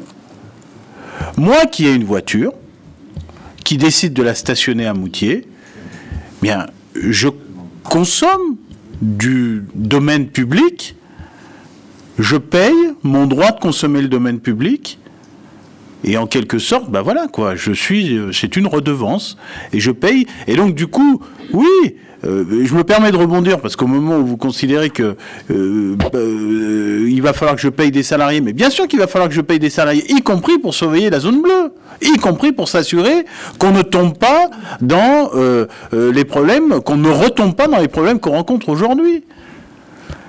Et, comme l'a dit Monsieur le Maire il y, a, quelques minutes, évidemment, les deux systèmes sont difficiles à mettre en œuvre et que en plus, on a un contexte. Vous faites bien de le souligner, Monsieur Xel. On a un contexte. Néanmoins, euh, je crois qu'il faut faire preuve là sur cette affaire de, de responsabilité. Et la responsabilité, c'est aussi euh, gérer notre domaine public de manière raisonnable. Euh, je pense que la tarification telle qu'elle est proposée, c'est pas une tarification qui est excessive, qui est abusive. Euh, je pense que le système qui est proposé, c'est pas un système euh, qu'on est allé chercher sur Mars, c'est un système qui est adapté au territoire qui est le nôtre et qui permet de répondre aux besoins qui sont les nôtres. Ensuite, naturellement, je vous dis, le système, il n'est pas excellent. Ça, c'est sûr. Ouais, moi non plus. Le système, il n'est pas excellent. Euh, et sans doute qu'il va falloir l'ajuster. Et il y aura une étape d'évaluation, d'évaluation et de réajustement pour arriver à quelque chose qui fonctionne, mais qui est profondément équitable. Alors on pourrait pas, on pourrait, on pourrait disserter longuement sur la notion d'équité, d'égalité, euh, etc. Hein. Bon, alors donc, je, voudrais simplement continuer mon, mon, mon, propos. Donc, en fin de compte, euh, le système que vous proposez, ça va représenter un coût supplémentaire pour les usagers. Et, ce coût supplémentaire pour les usagers, et notamment pour les habitants, euh, va pas non plus inciter les habitants à continuer à vivre au centre-ville de Moutier, ce qui ne sera pas non plus quelque chose de favorable à la, au regain de population que nous souhaitons tous pour notre ville. Ensuite, euh, comme je le disais tout à l'heure, l'abonnement pour les professionnels et les résidents vont bloquer des places de stationnement dans le centre-ville. Non seulement ça va avoir un coût, mais en plus ça va bloquer des places et donc ça va réduire la rotation de véhicules. Ensuite, il y a aussi une question de détail, mais qui n'en est pas un, qui n'en est pas un. Les zones où il se passe des choses, on va dire, un peu non contrôlées, comme la grande rue, je sais bien parce que j'habite euh, dans ce secteur-là, euh, comment ça va se passer? Puisque c'est des zones, bon, finalement, bon, hein, qui sont un peu, qui, qui, sont un peu complexes. On sait pas trop, on sait pas trop comment les règles sont appliquées sur ces, sur ces voies, sur ces voies-là. Euh, on le sait pas, euh, on le sait pas parce que ça rentre pas dans les canons euh, du système standard. C'est ce que je disais tout à l'heure. On est sur un statut particulier sur lequel on a des précisions complémentaires à apporter.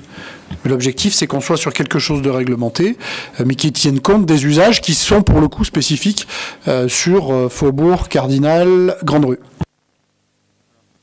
Et, donc, et donc, et donc, j'en arrive au problème de l'investissement, puisque ce projet-là suppose un investissement, donc une dépense d'investissement de 260 000 euros, c'est quand même pas rien, que vous pensez amortir sur 10 ans, soit selon des calculs prévisionnels, mais ces 260 000 euros, moi je préférerais nettement qu'ils soient mis pour investir dans des nouveaux parkings, plutôt que pour euh, faire payer les gens.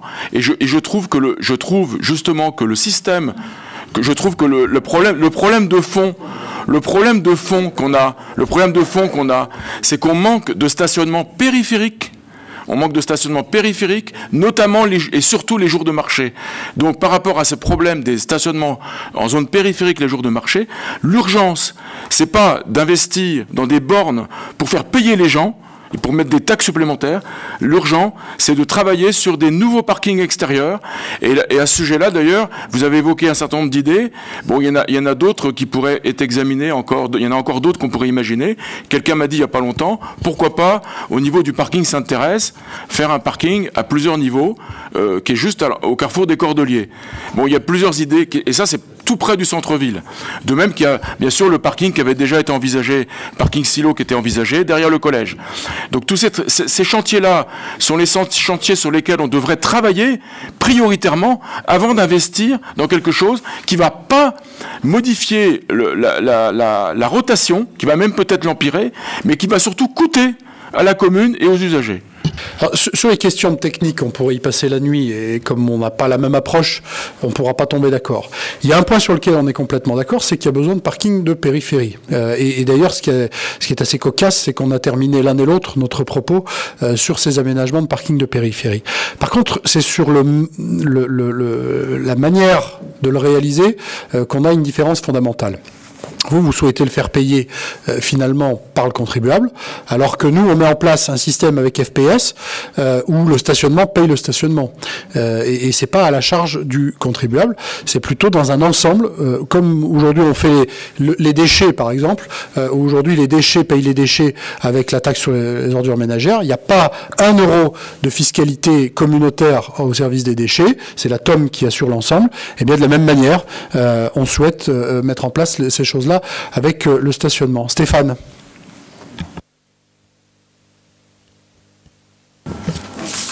J'ai juste une euh, petite question concernant, enfin une, question et euh, une remarque par rapport aux professionnels. Vous indiquez abonnement pour les professionnels de la zone payante et après vous avez parlé sur la projection de flotte commerciale et de véhicules professionnels. Donc vous entendez quoi par ces différences? Alors, les, les, flottes commerciales, bon, tout le monde sait ce que c'est. Euh, quand on parle de véhicules professionnels, c'est plutôt de véhicules qui sont liés à l'économie, euh, mais de ceux qui font fonctionner l'économie. Euh, c'est pour ça qu'on parle de tranches de, de, de 10 salariés. c'est, vous avez une activité de, de 20 salariés. on considère que vous avez 20 véhicules à destination professionnelle qui rentrent dans la ville, ce qui vous donne un droit d'avoir deux places sur le domaine public, donc pas en parc fermé, deux places pour, euh, pour vos activités. Sur les flottes commerciales, euh, il y a la question des loueurs dont j'ai parlé, qui est un sujet très particulier. Euh, il faut qu'on soit évidemment euh, en accompagnement. Les loueurs font partie de la singularité de Moutier au regard de son nœud de transport. Donc là-dessus, il faut qu'on il faut qu'on soit au rendez-vous. on, a, on a commencé à travailler avec eux et je suis agréablement surpris de leur de leur volonté à aller dans des investissements nouveaux et partager avec eux sur des solutions des solutions type grande gare ou aéroport. Donc c'est c'est très positif. après, on a un certain nombre d'agences immobilières, c'est souvent l'exemple euh, qui est évoqué dans la ville. On a ensuite du véhicule, euh, du véhicule professionnel au sens fourgon, euh, chantier, etc. Là aussi, il faut qu'on trouve des solutions parce que on a un certain nombre de, de secteurs de notre de notre centre-ville, de notre centre historique, qui n'est pas compatible, au moins en termes de, d'image et de gabarit, avec la capacité de ce qu'on on peut apporter en termes de place. Donc voilà, là il faut vraiment maintenant qu'on rentre dans une segmentation euh, de ce qui constitue l'ensemble des flottes de véhicules professionnels et euh, qu'on puisse trouver des solutions adaptées. Mais là, on est vraiment, euh, je, dirais que c'est comme pour Cardinal Faubourg et Grande Rue, on est maintenant, là on rentre dans une phase de détail qui, qui ne correspond qui ne sera pas contraire, mais qui en tous les cas n'est pas dans l'application du cadre général. Euh, et le cadre général, c'est le sujet de ce soir. Par exemple, un commerçant, vous le considérez comme un professionnel, étant donné qu'il va arriver le matin et bloquer une place toute la journée et repartir le soir? Alors, les, commerçants, ils sont évidemment, ils ont un véhicule, leur véhicule, il est professionnel au sens où ils viennent pour une activité. Donc, le commerçant, il peut avoir un abonnement, euh, mais il peut aussi euh, privilégier la possibilité d'aller chercher euh, du stationnement non payant. Voilà. Mais l'orientation qu'on va avoir, d'ailleurs, le, le, tarif le traduit déjà, l'orientation qu'on va avoir, c'est de privilégier de l'abonnement parc pour tous ceux qui viennent avec des véhicules qui restent garés toute la journée. D'ailleurs, euh, on, a euh, plutôt euh, les acteurs économiques qui sont favorables. D'ailleurs, on a tenu une rencontre sur le sujet la semaine dernière, où, globalement, ils sont tout à fait en adéquation avec la proposition qui est de trouver du parc fermé pour héberger leurs véhicules. En tous les cas, ils, expriment, voilà, ils expriment la volonté d'un système équilibré qui permette de trouver du flux et de la rotation. Voilà. Et en fait, si vous voyez, toute la difficulté, c'est un peu ce que j'ai dit euh, au début de mon propos, toute la difficulté, c'est qu'on doit apporter des réponses de centre-ville, euh, euh, de gros centre-ville, mais avec finalement un territoire qui, qui ne correspond pas. C'est toute la difficulté. Voilà. Donc au, final, si j'ai à peu près suivi, c'est un projet qui va être évolutif. Donc aujourd'hui, on s'arrête à un instant T par rapport à un fonctionnement tel qu'on l'a déterminé. Mmh. Après, derrière, en fonction, en fonction de la rentabilité aussi, je suppose, financière, ça va permettre de dégager des investissements pour après, à long terme, de pouvoir créer justement des parcs de stationnement bien précis en ce qui concerne notamment les professionnels. Après, moi, ma remarque, c'est pour ça que je suis un peu partagé. Euh, parce qu'il y a certains points sur lesquels je, rejoins quand même Bernard en ce qui concerne les rotations heures dans la journée, parce que c'est quand même ce qui, au final, est euh, le point euh, problématique sur le centre-ville de Moutier. Et là, en fait, on autorise d'une certaine manière les professionnels à refaire la même chose en ayant des abonnements. Après, à savoir justement le nombre d'abonnements qu'il va y avoir, c'est encore aussi une question qui reste à être déterminée. Mais euh, je serais moi, enfin, personnellement, je préférais avoir une vraie rotation centre-ville et donc justement de ne pas avoir des véhicules qui bloquent les stationnements. Et après, derrière, éventuellement, vis-à-vis des résidents, parce que je pense que ce que dit aussi Bernard est justifié par rapport à un paiement de résidents, peut-être dans ce cas-là, peut-être de limiter euh, le, paiement, euh, au lieu que ça soit 60 euros, peut-être à 30 euros, et au final de voir si les places de stationnement, au lieu de les avoir en centre, hypercentre, voilà, là où c'est les zones payantes pour les professionnels, au final ne pas y autoriser. Est-ce qu'on pourrait avoir cette... Euh, Alors, il y, a plusieurs choses dans ce que vous dites. Le, premier élément, et, et c'est fondamental, donc il faut que je le précise, je ne dis pas que Bernard a tort dans son raisonnement. Sauf qu'on n'a pas la même approche.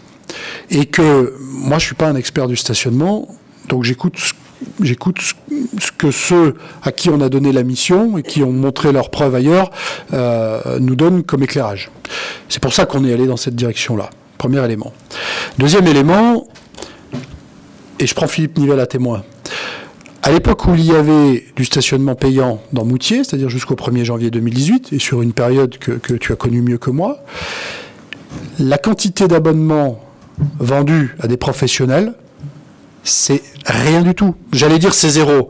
En tous les cas, en proportion, c'est zéro, mais c'est quasiment rien du tout. Voilà. Autre exemple euh, qui est important et qui a fait beaucoup débat autour de cette table, on avait mis en place un système à tarif très très très attractif à 20 euros, vous en souvenez, Bernard, euh, sur du parc, euh, sur de la place identifiée qui ne soit pas un parc fermé. C'est ce qui avait fait le débat. Et vous aviez raison d'ailleurs de le porter au débat. Savez-vous combien on en a vendu? Zéro. C'est-à-dire qu'en réalité, le temps qu'on a passé en débat sur le sujet, le, le temps qu'on a passé en débat sur le sujet et les risques auxquels je me suis euh, exposé, compte tenu de la légalité du dispositif, c'est beaucoup plus que le temps qu'on a passé à en vendre, puisqu'on n'en a pas vendu pour le coup, 0-0. Voilà. Donc, euh, Stéphane, vous voyez, ce que je veux dire, c'est qu'on peut, on peut pas avoir la certitude du plantage d'un moyen ou de l'autre. En revanche, su- sur la zone bleue, c'est ce qu'a dit Noir tout à l'heure, mais sur la zone bleue, la difficulté qu'on a dans le contrôle, c'est que il faut passer très souvent pour contrôler de la zone bleue. Si vous avez une petite, une petite surface en zone bleue, c'est assez facile à contrôler. Une grande surface en zone bleue euh, et éclatée de surcroît, c'est beaucoup plus difficile parce que ça oblige des passages successifs. Le problème, c'est pourquoi on a grandi la Et oui, non, mais la- la- en fait, il y y y a- y une chose qui est claire, c'est que que l'on parle de payant ou de zone bleue, on est en, on est en stationnement réglementé. Stationnement réglementé sur un secteur qui est le secteur en jeu. Personne n'a discuté du périmètre quand on réglementait. Donc, donc en fait, là, c'est fondamental. Ensuite, sur la question des tarifs. Sur la question des tarifs, ce que j'ai demandé à nos services, c'est qu'on puisse, euh, et, et Dominique me confirme que c'est pris en compte, qu'on puisse dissocier le cadre général et les tarifs. Parce que mon objectif, c'est qu'on puisse revenir, on va pas y revenir plusieurs fois par an, mais qu'on puisse revenir facilement après sur les tarifs, sans être obligé de revenir sur le cadre général. Donc aujourd'hui, on parle du cadre général. On a évidemment mis des tarifs qui sont euh, des propositions vers lesquelles euh, nous pourrions aller, mais qui sont des tarifs portés dans une délibération qui n'est pas la délibération du cadre général, ce qui nous permet de dissocier le cadre et le prix. Voilà, ça me semble important. Et puis, euh, comme c'est à vous que je réponds, Stéphane, j'en termine par là. La question du stationnement, c'est une brique d'une dimension beaucoup plus large autour des mobilités. Euh, et, donc, je, le dis, c'est pas vous qui l'avez dit pour le coup, c'est moi qui y viens. Euh, c'est un élément, non mais c'est un élément, et c'est pour ça qu'il faut en commencer par là. Euh, c'est un élément qui contribue à la réflexion et aux futurs aménagements en direction des mobilités sous toutes leurs formes et dans le respect des différents usagers. J'en ai pas dit plus, mais vous m'avez compris. Il y a Jackie qui a demandé la parole après. hein. J'aimerais juste rajouter un point, c'est euh, vous avez soulevé justement euh, le problème, enfin ça a été d'ailleurs bien indiqué dans le diaporama, c'est les infractions qui ne sont pas verbalisées. Et au final, si aujourd'hui le plan tel qu'il est mis en place et qu'il y a une réelle verbalisation des personnes qui sont stationnées euh, sans avoir euh, payé voilà, 1000 tickets, alors là peut-être que je pense les abonnements vont fonctionner. Et là, on va peut-être aussi se retrouver, peut-être avoir plus de demandes que ce qu'on aurait peut-être plus au final. Vous voyez ce que je veux dire? Donc, à un moment, il y a quand même des situations qui risquent un, peu un petit peu de coincer, à part, à part si effectivement les places de stationnement, les parcs de stationnement sont mis en place assez rapidement pour permettre à un moment de pouvoir faire euh, ces rotations. Et c'est pour ça que dès 2019, vous l'avez vu, on dégage déjà des places. Il se trouve qu'en plus, on a la chance d'avoir euh, une activité euh, économique qui se porte bien avec du développement, euh, avec des emplois nouveaux qui arrivent dans la ville. Et c'est-à-dire qu'on ne peut plus attendre sur, le, sur, les, places nouvelles. Donc tout est dans tout. Ce que je voulais, euh, en élément aussi de réponse à votre dernière intervention, c'est de dire que justement, parce qu'on sait qu'on va se heurter à des choses auxquelles on ne s'était pas euh, trouvé précédemment, c'est pour ça aussi qu'on s'est fait accompagner. Parce qu'on n'a pas en tous les cas, moi je l'ai pas. Si d'aucuns l'ont autour de la table, ben, il faut qu'ils en fassent profiter tous. Mais euh, moi, en tous les cas, j'ai pas une culture suffisante du stationnement pour pouvoir projeter des scénarios euh, quand on est dans un contexte qui ne correspond pas à, à- à quelque chose qu'on peut calquer d'ailleurs. Voilà. C'est pour ça qu'on a été accompagné, et c'est pour ça euh, qu'on a eu aussi une, une oreille attentive. On n'a pas fait tout ce qu'ils nous ont dit, euh, parce que certaines choses nous semblaient sans doute un peu trop brutales, mais euh, on a suivi en tous les cas le sens de ceux à qui on avait confié la mission. Jackie. Je dis pas qu'on prend le problème à l'envers, mais c'est vrai qu'on va, rencontrer pas mal de problèmes euh, d'entrée, puisque les personnes qui stationnent dans Moutier actuellement vont vouloir stationner en ville, en dehors de la ville. Et quand on voit vers le parking ITV, on en parlait tout à l'heure, qui est déjà plein, puisque la digue, elle est pratiquement tout le long, les gens stationnent. Donc je pense qu'on va déjà se rencontrer un premier problème là-dedans. Tu as raison de le dire, euh, et, et j'ai pas été précis sur un point, c'est que c'est pas demain matin que ça s'applique. Notre décision on est aujourd'hui le 20 décembre. Euh, L'objectif, c'est qu'au 1er janvier 2019, on puisse aller sur les premières orientations. Rassurez-vous, les parcs-mètres, ça s'installe pas du jour au lendemain non plus. Bon. Et ce que j'ai demandé au service, on a travaillé sur cet aspect-là mardi, euh, ce que je leur ai demandé, c'est qu'on ait un document de communication qui soit très performant. Et là, pour le coup, par contre, on a des exemples qu'on peut utiliser euh, d'ailleurs. Euh, un, un document de communication qui soit très performant, qui explique D'abord la philosophie de nos choix, parce que euh, pour qui, euh, euh, d'abord on ne demande pas forcément d'être d'accord avec ce qu'on vient de dire, mais pour qui n'aurait pas assisté à la totalité de nos débats ici, il peut paraître totalement déconnecté de la réalité d'aller sur les choix que nous avons faits. Donc il faut expliquer la philosophie de, de, des choix qui sont opérés. Il faut expliquer les modalités selon lesquelles ça va se mettre en œuvre les répartitions entre à quoi ça correspond du payant, à quoi pas, quelle signalétique, quel type d'abonnement, etc., etc. Donc un document euh, un peu dense, c'est pas juste un flyer recto verso, un document un peu dense euh, qui explique tout ça. Ce document, il arrivera, euh, Monsieur le DGS, euh, on va dire dans le courant janvier, voire début courant février. Euh, les orodateurs seront toujours pas installés. Hein. On, va être dans une démarche de commande publique pour faire installer tout ce matériel. Euh, donc il faudra un peu de temps. Euh, et, donc il faut qu'on utilise euh, toute cette période-là de manière utile et habile pour que la culture, c'est pas un truc qui change du jour au lendemain. Donc voilà. Et il faut qu'on se sente aussi, euh, et, je le dis en regardant Madame Baird, parce que je sais qu'on est au moins deux, je sais qu'on est plus que deux, mais on est au moins deux à partager ça, c'est que quand on n'a pas besoin de sa voiture, ça sert à rien de venir avec sa voiture dans Moutier. Voilà, ça fait aussi partie de, de, la culture. Et quelque part, je vais vous donner la parole, Bernard, mais sur cette question du stationnement, on est tous responsables. Voilà. Jackie, pour finir, et Bernard. Euh, tout à l'heure, tu as parlé de, de fourrière, donc euh, la fourrière où elle est actuellement va disparaître. Oui. Est-ce que vous avez déjà trouvé un autre endroit? Alors, on a travaillé sur plusieurs pistes euh, qui, qui, ne se valent pas toutes, d'ailleurs, euh, et qui ne valent pas toutes la même chose non plus, d'ailleurs. Euh, et en tous les cas, ce qu'il y a de sûr, c'est qu'on va relocaliser, puisqu'on a accordé ce, ce, permis de construire à l'endroit de, de, la fourrière. On, on, va la, donc la relocaliser. On va aussi, du coup, l'adapter, l'optimiser en fonction de notre besoin, puisque à l'époque où on l'a faite, on a trouvé une opportunité de la poser là, on s'est pas trop posé de questions, on a mis une barrière, une clôture et en avant. Euh, donc maintenant, sait un peu mieux ce dont on a, ce dont on a besoin. Et c'est lié aussi à la question du véhicule que j'ai évoqué tout à l'heure. Des véhicules, on a déjà exploré plusieurs pistes. Euh, il y en a qu'on a écarté. Euh, les choses semblent se préciser. Là aussi, on y a retravaillé mardi. Les choses semblent se préciser. donc, en fonction de tout ça, ça va nous permettre de confirmer le choix qu'on fera sur cette question de la fourrière. La fourrière, il faut que ça soit un endroit accessible, à peu près sécure, et puis qu'il y ait des, des, questions de topographie et de dimensionnement qui correspondent. Voilà, Bernard. Oui, vous m'avez pas répondu là sur une question du nombre de places de stationnement en tout et combien il y a dans la zone euh, qui est prévue, que vous avez zonée comme étant futurement payante. Non. Pardon.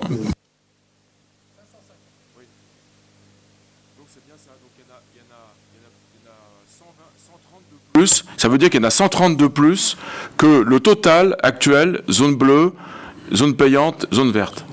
C'est ça. Alors, en sachant que, et je, je le dis euh, en associant Philippe Mosca, on a réalisé 140 places 143, je crois exactement, euh, depuis le début de depuis depuis 2014. Euh, Bernard, je, je, le dis de manière très très objective. C'est pas, je, je vous agresse pas, mais il nous a semblé, et ça c'est un préalable, il nous a semblé que l'immobilisme n'était pas la solution du stationnement.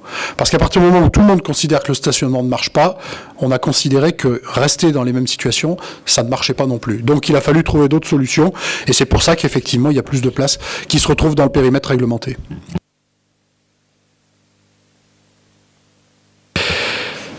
Oui, Jacquier.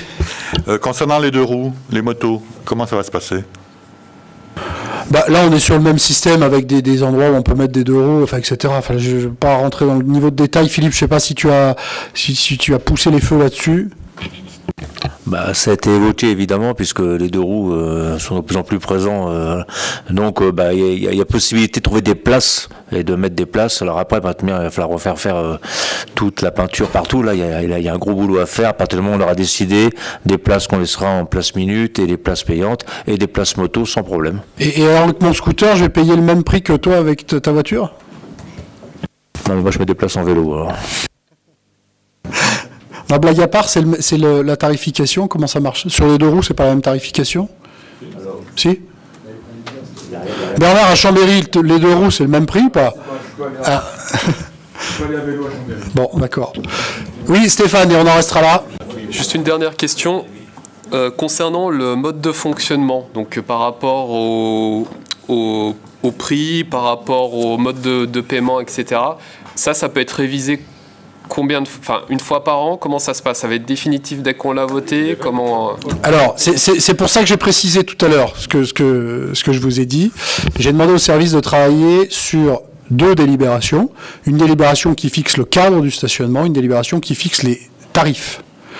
Ce qui veut dire qu'on pourra revenir sur les tarifs plus facilement que si on revient sur le cadre, parce qu'on sait très bien que si on revient sur le cadre, on refait deux heures de débat à chaque fois. Donc, euh, on dissocie les deux. Le cadre, on pourra y revenir, mais c'est pas parce qu'on touche au tarif qu'on est obligé de toucher au cadre. Et on pourra y revenir. J'ai envie de dire tous les ans, Florence, puisque on a une tarification euh, qui évolue tous les ans sur d'autres sujets, euh, donc on peut y retourner. Il y a quand même une petite subtilité, c'est quand on change euh, le tarif, ça veut dire qu'on est obligé d'intervenir sur nos appareils. Et le parc, euh, Philippe, le parc d'appareils qu'on va installer, c'est 24 rotateurs, c'est ça 22. 22. Donc ça veut dire que voilà, il y a, un certain nombre d'opérations euh, qui, sont forcément à revoir à chaque fois. Mais, en tous les cas, c'est fait pour être modifié. Et c'est pour ça qu'on va le faire avec deux délibérations. Merci, euh, merci de ce débat et merci de, vos contributions au fil de, ce long chantier euh, du stationnement. Je vous propose qu'on en reste là euh, pour aujourd'hui et je vais donc mettre ce rapport aux voix. Est-ce qu'il y a des, oppositions? J'en vois trois. Des abstentions? Je vous remercie. Simplement, je voulais pas poser la question avant le vote. Non, mais après, simplement, je demande, maintenant qu'on a voté, qu'on puisse avoir communication de la convention avec l'Antal et, également euh, sur euh, le budget prévisionnel. Bon, on a voté 260 000 euros, et qu'on puisse le détailler, ce, budget. Euh, je dirais qu'on a voté, mais ça demande des précisions derrière. Alors, tu as raison. L'entaille, il faut peut-être préciser, parce que c'est pas clair pour tout le monde, c'est l'organisme qui va euh, intervenir pour notre compte dans les aspects euh, de FPS et de renvoi des, sommes euh, vers la collectivité. S'agissant des, financements qui sont identifiés, ça c'est avant consultation, hein, donc évidemment que ça va encore évoluer un petit peu. La commission, c'est la commission des travaux, j'imagine, qui va être saisie du, du sujet. Non, comment vous avez, je sais pas comment vous avez vu ça. Ouais, je pense que c'est travaux. Donc euh, à ce moment-là, on pourra évidemment euh, complètement détailler tout ça. Merci. Vous avez évoqué là, là, là, là, là. On en arrive à la candidature du label Village Étape, c'est ça? Alors, cette candidature du Village Étape, qui est, euh, de, de mon point de vue, euh, qui est de mon point de vue une, une, une très belle orientation. Euh, en fait, je vais vous dire comment ça s'est comment ça s'est fait. Euh, et et peut-être que pour que on voit comment ça s'est fait, Nathalie, vous devez avoir une carte, je crois. Voilà, je voulais voir cette carte. J'ai la, je sais pas si c'est une, si c'est une chance. J'ai la chance d'aller euh, euh, quelques fois maintenant, comme vous le savez, en Auvergne. Euh, et il se trouve que j'ai découvert Village Étape en allant vers nos amis auvergnats, parce que en Rhône-Alpes, à l'exception des deux zones qui sont dans le quart sud-est et qui n'existent que depuis cette année 2018, les labels Village Étape n'existent pas. Donc j'ai découvert des choses comme ça. On s'est renseigné parce que j'avais été interpellé euh, en voiture euh, du fait qu'on me dise eh ben, il faut aller à tel endroit parce qu'il y a euh, tel type d'activité, telle possibilité, etc., etc. Je pense, Michel, que les camping-caristes connaissent ça par cœur. Donc, on, a poussé les feux et on a fait une candidature pour que Moutier puisse devenir village étape. Alors, la notion de village, je vais vous rassurer tout de suite, en fait, on appelle village dans, cette disposition toute commune qui compte moins de 5000 habitants.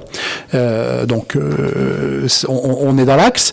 Euh, pour pouvoir bénéficier du village étape, il faut être en bordure d'un axe de route nationale. ce qui est aussi notre situation, puisqu'on est au bord de la RN 90 et présenter un certain nombre de qualités d'accueil des publics et en tous les cas faire une présenter une attractivité pour les visiteurs. L'avantage du village étape, c'est qu'on bénéficie par l'État euh, d'un label, c'est le ministère des Transports euh, qui euh, qualifie le label Village Étape et qui prend en charge, ce ministère, les panneaux qui sont installés.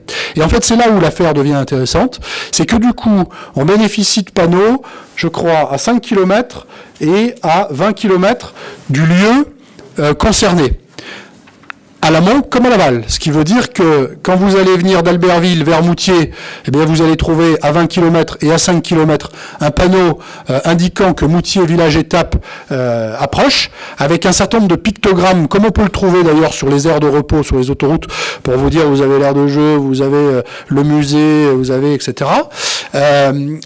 Et donc, à 20 km et à 5 km, vous allez trouver des informations comme ça.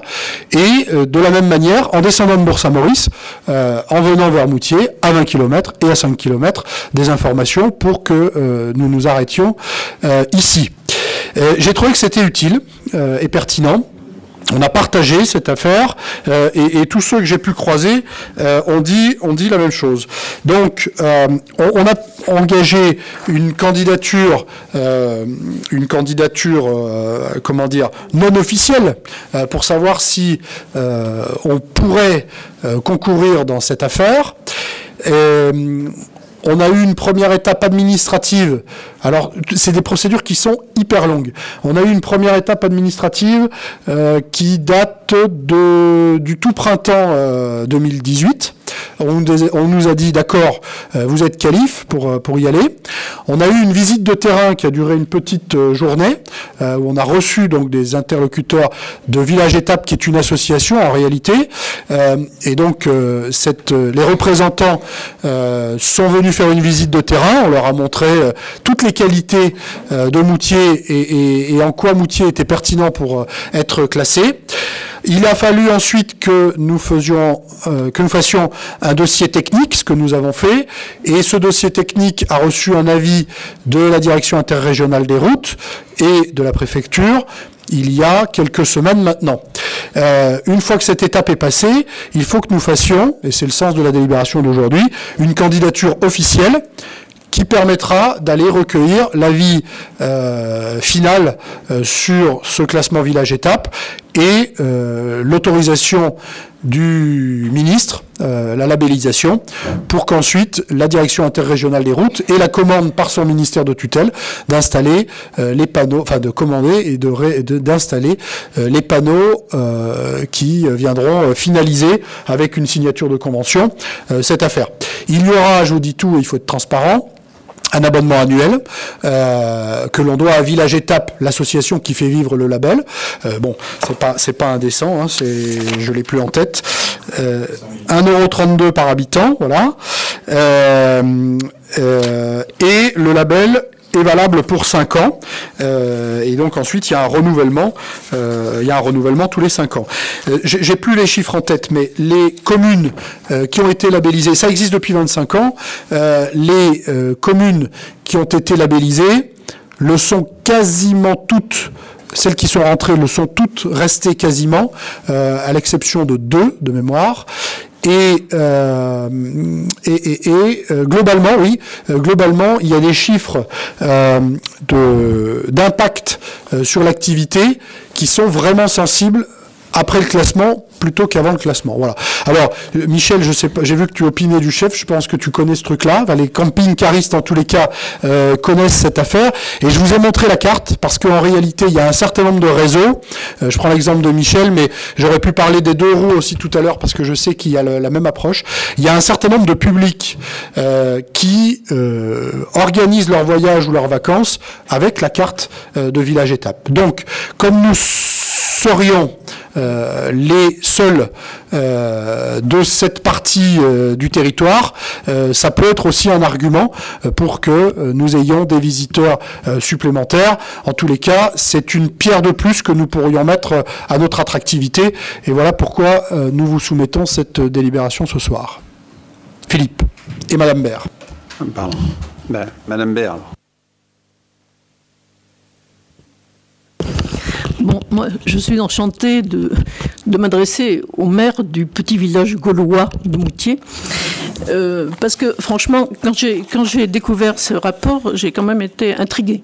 Donc je suis allée voir, en effet, ça a été mis en place il y a près de 25 ans, euh, pour euh, et ça vise à, ramener des retombées économiques dans les commerces en milieu rural. Donc je me suis vraiment pas du tout retrouvée dans cette ville de Moutier que j'aime tellement et qui, j'espère, un jour dépassera les 5000 habitants grâce aux fusions de communes. Donc mais quand même, village. Moi, je crois au pouvoir des mots. Et village, non, franchement, euh, c'est pas comme ça que je conçois ma ville. Hein. Euh, J'ai regardé dans le Robert, du coup. Alors, village, agglomération rurale, se conçoit pour un village campagne. Enfin, je vois pas beaucoup de ruralité dans notre, dans notre commune. Voilà. Alors, j'ai vu qu'il y avait qu'une soixantaine de communes qui avaient, qui avaient donc. Euh, Enfin, on approche les 60, 52 si vous l'êtes précis. Mais en fait, euh, euh, parmi les 36 000 communes de France, enfin, il y en a plus de 36 000 vraiment, mais, quand même, euh, c'est peu. Alors, bon, je me suis interrogée sur l'impact, c'est vrai, hein, de, ce panneau. Mais un village qui possède une cathédrale, qui possède diront encore un hôpital euh, qui possède un centre des impôts. Et, enfin, je ne vois pas vraiment un village dans la commune de Moutier. Enfin, moi, je ne me suis pas retrouvée. Je suis désolée hein, si, si c'est votre approche, mais je ne me suis pas retrouvée dans ces petites communes de, de la France profonde. Alors on peut discuter, c'est ce que j'ai dit tout à l'heure, de, de, cette notion de village. Il se trouve que derrière village, il y a label. Et derrière le label, ce sont des valeurs que euh, le ministère de, l'équipement euh, et, euh, et, et, et l'association Village euh, souhaitent, euh, souhaitent faire passer. Après, ma foi, on peut très bien se dire, plutôt que d'être taxé de village, on préfère s'affranchir de cette possibilité d'attractivité. C'est pas le choix que je fais. Je pense qu'au contraire, c'est un argument de plus. et, on a, on a de vrais arguments qui permettent de dire que ici, on a, on a un fonctionnement qui parfois peut ressembler à un village. Et puis je voulais vous rassurer sur la question de la population, parce que c'est une des questions que j'ai posées lorsqu'on a eu la visite de terrain avec la, séance de travail ici. Euh, en réalité, je, leur ai posé deux questions d'ailleurs, pour être précis. Enfin, j'en ai plus, plus que deux, mais deux qui pourraient répondre à, à, à vos interrogations. La première, c'est euh, effectivement avec les communes nouvelles, comment est-ce que tout ça euh, opère? En réalité, une fois qu'on a obtenu le, le label, on l'a pour 5 ans, et si l'évolution de la population fait passer au-dessus des 5000, on conserve quand même la notion de village, et donc le label village étape. Première question qui est dans l'actualité. Deuxième question qui est dans l'actualité, un certain nombre de routes nationales vont évoluer vers un statut de route départementale dans les mois et années qui viennent. Euh, et donc j'ai posé aussi la question de savoir si on pouvait perdre le label lorsqu'une RN devenait une RD. Et en réalité, euh, ce qui compte, c'est la situation au moment du classement. C'est-à-dire que si la RN devient RD, compte tenu du classement initial, vous pouvez garder votre statut de label village situé à proximité d'une route nationale.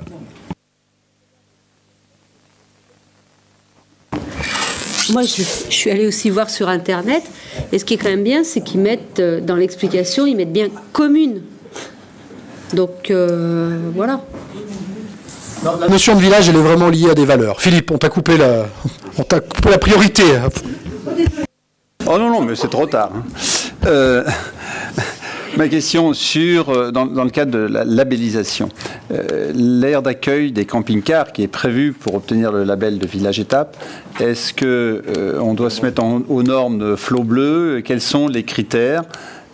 Pour euh, répondre au label. Donc l'idée c'est effectivement euh, qu'il y ait un lieu d'aire d'accueil des camping-cars et avec alors pas forcément flot bleu, mais en tous les cas un certain nombre de, de, de comment on appelle ça, de, de, de, commodité, voilà, c'est le, mot que je cherchais. Et il se trouve que euh, on a un projet qui a d'ailleurs précédé la visite de terrain, donc euh, on leur a présenté le, projet sur lequel on a travaillé. Euh, J'espère que ce sera du 2019. en tous les cas, on a, on a quelques années pour nous mettre en conformité euh, sur les points sur lesquels on a des carences. Alors évidemment, s'il n'y a que des carences, il n'y a pas de label. Mais, mais euh, donc là, on a été très clair avec eux. Alors, présentant le, projet sur lequel nous avions travaillé. Euh, c'est Philippe qui a travaillé sur cette affaire-là. Euh, et euh, ils l'ont trouvé pertinent. Et donc, du coup, ça n'empêche pas, si ça n'est pas réalisé, ça n'empêche pas le label aujourd'hui. Par contre, label ou pas label, que nous ayons une aire d'accueil de, camping-car, on ne parle pas de 50 camping-cars, hein, c'est pas un camping, mais, mais de quelques camping-cars, c'est très pertinent et il faut le faire. L'aire euh, de- d'accueil, je ne veux pas prolonger le propos, mais sur lequel nous avions regardé, c'était le stationnement euh, au niveau du carrefour des Cordeliers, de l'autre côté des Cordeliers, en bordure de la. de Alors c'est pas là où on a travaillé, mais la commission des travaux aura l'occasion d'y revenir. Stéphane, Stéphane et Bernard. Non, mais il faut faire attention pour les camping-cars. Il faut quand même que ce soit des sites pittoresques, euh, Philippe euh, Nivelle. Il faut pas que ce soit quand même au bord d'une route. euh, bon. Alors, donc simplement, non, mais je, moi, je voulais. C'était pas ça ma question. C'était pas ça ma question. Bon, des labels, des labels, il y en a plein. Est-ce que vous avez fait un inventaire un petit peu des labels pour repérer celui, celui-là parmi tant d'autres? Euh, sachant que bon, euh, voilà, il, en existe de, plein de nature des labels. il y a des labellisations de toutes sortes. Et puis d'autre part, en termes de communication, bon, sous le sous le blason et dans les entêtes et sur le rond-point de l'Europe, etc. Il est mis en avant en permanence. Vous mettez en avant capitale de la Tarentaise. Donc, est-ce que vous allez mettre en dessous de capitale de la Tarentaise village étape? Enfin, ça me paraît en termes de communication, il y a quelque chose qui me me paraît pas pertinent. Pas, ça me paraît pas bien réfléchi, quoi. Bon, écoutez, c'est pas sympa de dire que c'est pas bien réfléchi parce qu'on y a quand même passé un peu de temps Euh, et, et- et on s'est posé sur cette question du, du- du village. Mais, euh, je veux vous rassurer. D'abord, on, on met pas, on met rarement la belle village étape sous le sous le logo forcément de la ville. C'est le premier élément. Et après, on parle de labels. Alors, sur la question des labels, des labels, effectivement, il en existe beaucoup. C'est d'ailleurs l'occasion de rappeler qu'on a fait classer notre office du tourisme label vélo euh, et qu'il va d'ailleurs euh, connaître son renouvellement euh, sous peu, dans le même temps d'ailleurs où on fait classer l'office du tourisme euh, en catégorie 2, je crois. Euh, pourquoi on a choisi celui-là? On a choisi celui-là parce qu'il nous semblait correspondre, alors je vous fais grâce du village, mais il semblait correspondre à un certain nombre de caractéristiques. Euh, ça a été créé à l'époque où les infrastructures routières se sont développées et ont, ces infrastructures porté atteinte à l'activité économique locale. C'est le premier point d'interpellation euh, sur lequel euh, ça semblait faire sens pour Moutier. Après, euh, il y, a, les différentes qualités que nous avons à Moutier qui semblaient correspondre. Il a semblé qu'il était quand même regrettable de se priver d'un élément d'attractivité d'une corde de plus à notre arc dès lors qu'elle était accessible. Et troisième élément, c'est qu'on est sur un classement, sur un label qui est un label de l'État. Euh, parce que des labels, il y en a effectivement. Euh, vous avez des labels de, tout ce que vous voulez, mais tous n'ont pas la même portée. Il se trouve que là, le classement, il est accordé par le ministre, euh, et ce qui confère une autorité, et ce qui permet aussi d'ailleurs que le coût de réalisation de la communication et des panneaux dont je vous ai parlé est pris en charge par l'État, ce qui est quand même pas mal. Stéphane Euh, concernant euh, donc euh, qu'est-ce que je voulais dire déjà? Je sais plus. non, donc par rapport au label village étape, il y y, a un point que j'ai retenu qui pour moi est quand même assez important, c'est qu'il y a dans le projet de développement économique et touristique, il y a un point sur le développement durable. Vous voyez où je veux en arriver? Donc notamment par rapport au déplacement d'eau et au niveau cyclo. Donc j'espère que ça sera aussi euh, un point qui pourra être développé par rapport à Moutier. Et après, la- l'autre question que je voulais poser, c'était savoir quand est-ce qu'on allait plus ou moins avoir une réponse euh, du ministère. Alors, euh, sur le premier sujet, la question des mobilités est prise en compte et on l'a évoqué avec eux naturellement et dans toutes les, dans toutes les, les particularités que, que vous connaissez et auxquelles vous faites référence. Sur la question du retour, je crois que c'est pour euh, février-mars 2019, c'est ça? 2020 Définitivement. Définitivement. Ok. Le ministère, déjà savoir si on est retenu à 100% ou pas. Bah, c'est courant 2019, c'est ça Plutôt fin mi-2019. Voilà. Courant 2019. C'est pour ça que je vous ai dit, on est, euh, on est sur des sujets au long cours, quoi. Voilà. Oui, Madame Baird. Bon, puisqu'on on part vers cette orientation, et dans les critères euh, demandés pour ce label, on demande des parkings ombragés. Donc, vu qu'on a énormément de parkings ombragés à Moutier, je, souhaite qu'on plante de plus en plus d'arbres à Moutier. Alors, je, retiens la, conclusion, mais, mais, si je voulais être euh, globalisant, je vous dirais que c'est parce qu'on veut des parkings ombragés qu'on va libérer le parking de la gare. Très bien, je vous propose de mettre donc ce rapport aux voix. Est-ce qu'il y a des oppositions Des abstentions? 1, 2, 3. Je vous remercie. On poursuit. Oui, parce que les parkings souterrains, il est ombragé, Philippe. C'est pour ça que je dis ça. Et je passe. Non, mais je vois que tu cherchais pourquoi c'était ombragé. L'heure passe, on est fatigué. Voilà. Je, je, je passe. Non, mais je, garde ma remarque. Je, passe la parole à, Florence Carpetta pour les points sur les finances et notamment une DM au budget principal. Donc, la Direction générale des finances publiques verse à la mairie le produit de la taxe d'aménagement qu'elle recouvre auprès des dépositaires des permis de construire. Ces versements ne tiennent pas compte des annulations ou réductions de permis intervenant une ou plusieurs années après leur délivrance et qui font l'objet d'un remboursement redevable.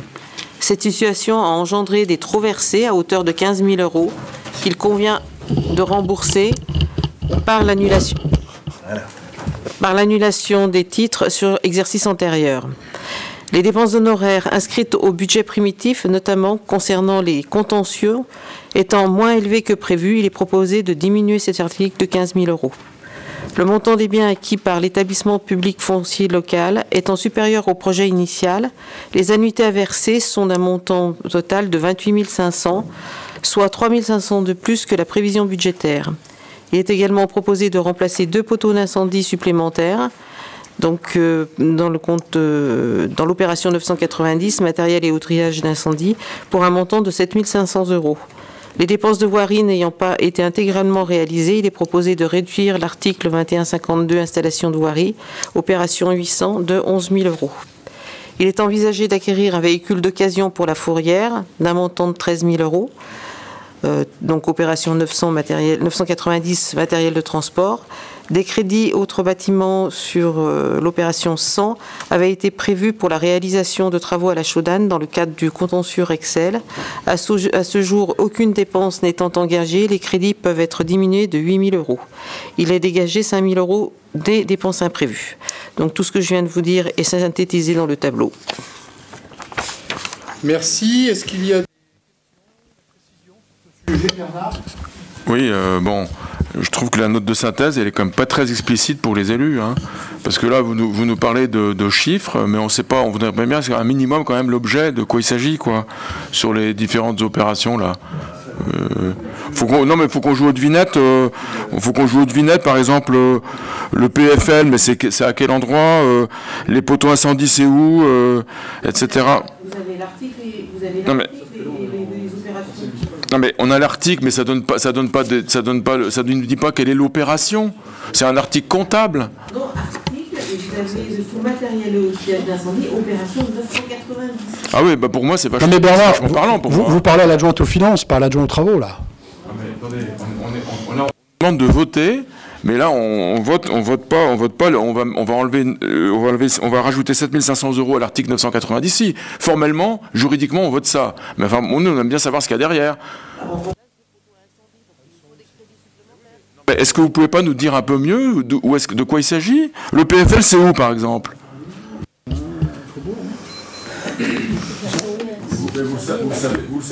Oui, il y en a un à la Fargie, je cherche le deuxième. Faubourg, non Devant le cimetière, je crois. Devant le cimetière. Voilà. Trois mousses. Le PFL C'est euh, oui, Montgalgan. Sur l'opération Montgalgan, oui. Et ça a été passé, euh, tout, tout, ça a déjà été passé, puisque sur les PFL, on avait budgété, 20, 20, on avait budgété 25 000 euros, il nous manque 3, euh, 3 500 euros. Donc il y avait déjà une partie qui avait été budgétée. C'est un complément en fait. Hein. Oui.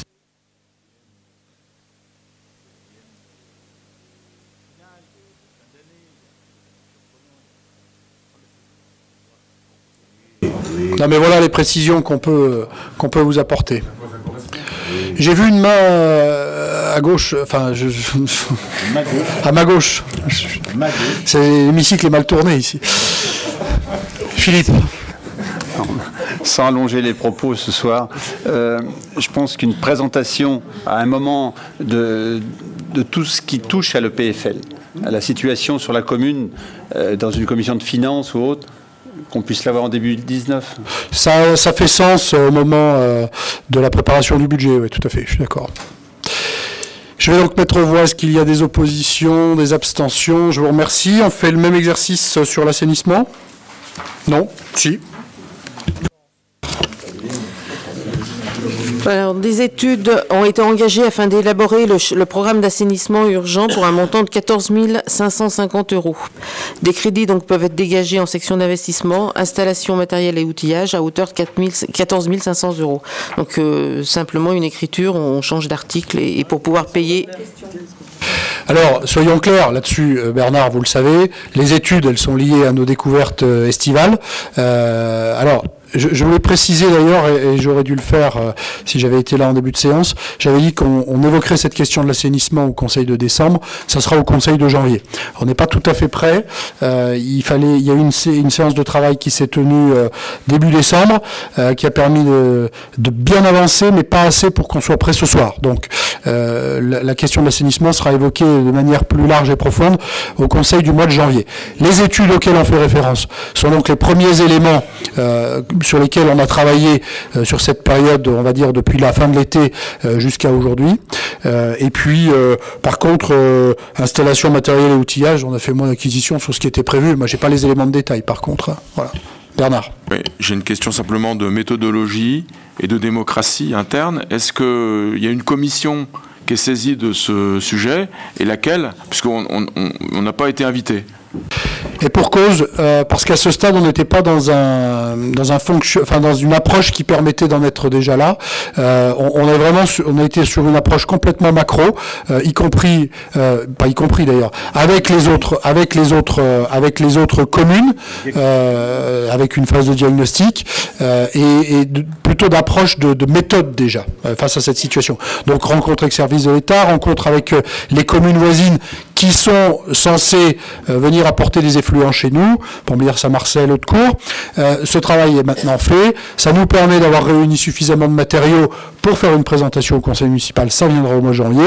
Et ensuite, la commission saisie au fond, c'est naturellement la commission des travaux. Et le syndicat de l'assainissement, ça va sans dire. D'autres questions sur cette délibération Des oppositions, des abstentions Je vous remercie. Toujours sur les aspects budgétaires de fin d'année, euh, les transferts de, de personnel vers les budgets. Assainissement. Euh, Donc, comme toutes les années, euh, en fin, d'année, on récapitule le nombre d'heures euh, qui ont été consacrées euh, pour le budget, enfin, pour l'assainissement, et donc on transfère ces charges sur le budget assainissement dans déduction du budget général. Donc, vous avez un tableau qui explique le nombre d'heures qui ont été consacrées et pour un montant donc de 22 712,92. Donc, euh, il, il convient de procéder à la réalisation d'une recette sur le budget général dans les mêmes proportions. Et euh, on propose qu'à partir de 2019, le transfert des charges de personnel du budget général vers le budget assainissement se fera au réel dans la limite des crédits votés sur chaque budget euh, sans qu'une nouvelle délibération soit nécessaire. Une information sera alors faite au conseil municipal. Donc on, reviendra vers vous si le nombre d'heures euh, dépasse, l'année prochaine ce qu'on aura pré- prévu. Donc on reviendra à ce moment-là vers le, vers le conseil municipal. On constate et on inscrit des questions, pas spécialement, des oppositions, des abstentions. Je vous remercie. On fait le même exercice avec notre régie Moutier Culture et Patrimoine. Donc effectivement, on fait le même exercice. Par contre, on intègre toutes les, charges qui ont été réglées sur le budget général et qu'on retransfère sur le budget donc MCP. Pour un montant de 31 665 euros, vous avez le tableau qui, euh, qui vous détaille en fait toutes les sommes prises en charge par le, sur le budget général à ce titre. Des éclairages, pas spécialement, des oppositions, des abstentions. Je vous remercie. Admission en non-valeur, on continue notre travail de nettoyage en la matière. Donc, euh, bon, je vous fais grâce du texte. Je vais simplement vous citer les, montants puisque nous revenons devant le Conseil plusieurs fois dans l'année à ce titre. Donc, sur le budget général pr- principal, le montant des créances éteintes s'élève à 604,29 et sur le budget assainissement à 124,59 euros. En ce qui concerne donc les créances euh, ir- irré- irrécouvrables, sur le budget général, elles s'élèvent à 1818,23 et sur le budget assainissement, 570 euros. Donc les motifs euh, sont les mêmes que ce qui était cité dans les différentes délibérations précédentes.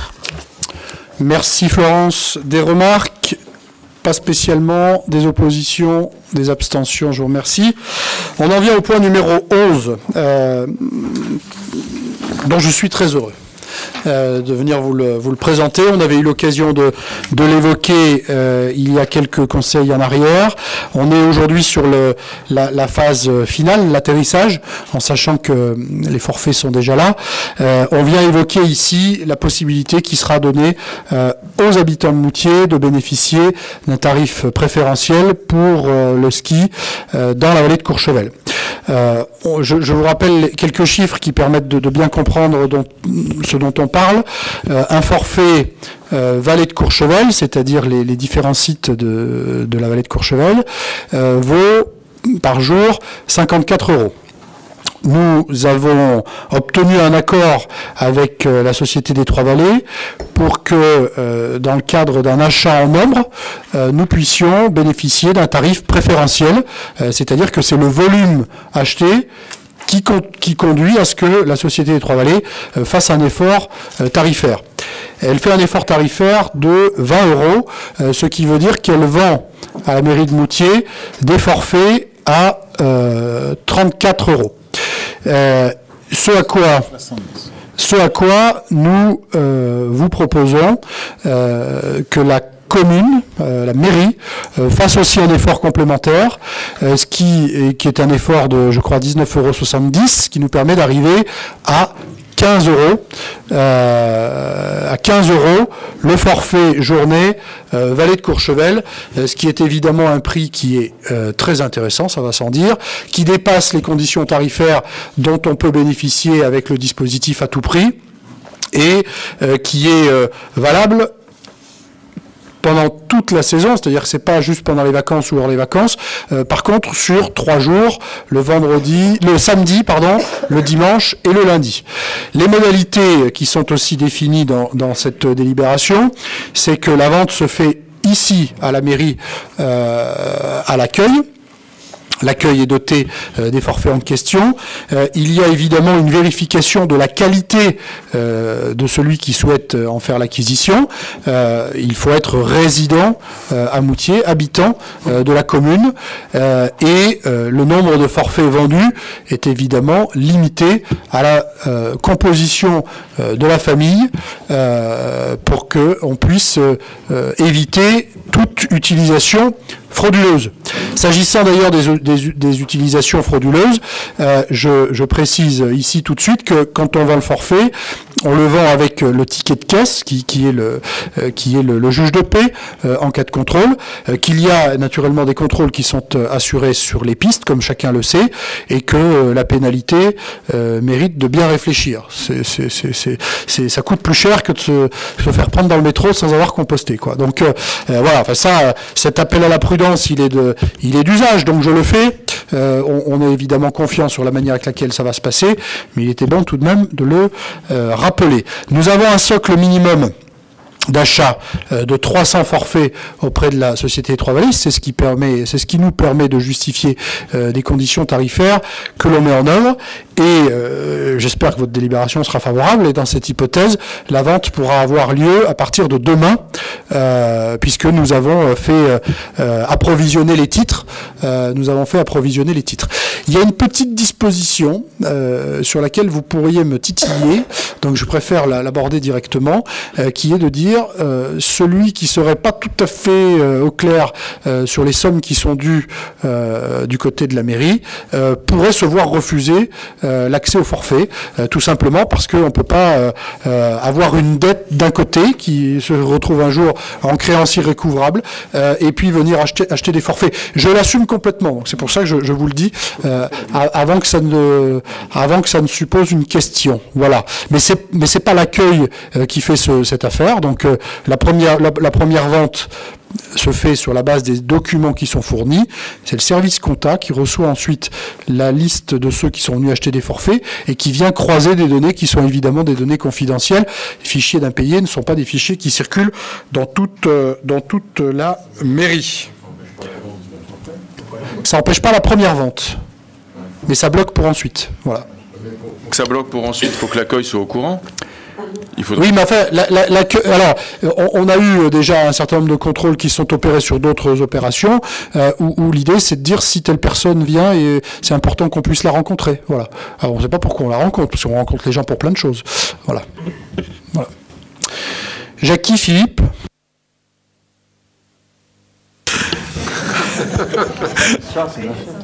Oui. On marque un forfait par personne pour le samedi, dimanche, lundi. Il faut l'acquérir la semaine euh, avant. Par contre, si on ne peut pas y aller pour une raison quelconque ce, le week-end, qu'est-ce que ça fait? Alors, le, forfait, on- est sur des forfaits qui déclenchent au premier passage. Voilà. En fait, le- le- l'explication de cette affaire, c'est là encore pour éviter euh, les abus. Euh, je, vais reprendre mon exemple, puisque c'est celui que j'avais pris au moment où on a monté le bazar. C'est de dire, on est 5, je veux ce qui est 3 jours, je peux pas acheter plus de 15 forfaits. Voilà. C'est ça que ça veut dire. Après, il se trouve que le samedi, euh, au lieu de faire beau, il fait un temps de chien. Euh, le déclenchement, il se fait au premier passage. Donc mes forfaits sont pas perdus. Voilà. Mais c'est pour limiter. je- je- si je viens ici et je dis voilà, je voudrais acheter 50 forfaits, on va me dire écoutez monsieur, c'est pas possible. Voilà.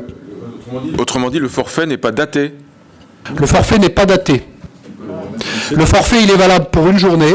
Et au moment où je passe le premier portique, eh bien, le, le dispositif euh, date, euh, date en tous les cas dans, le, dans, le- dans la babasse, ça date que c'est ce jour-là. Quoi. Voilà. Même chose pour le CAF.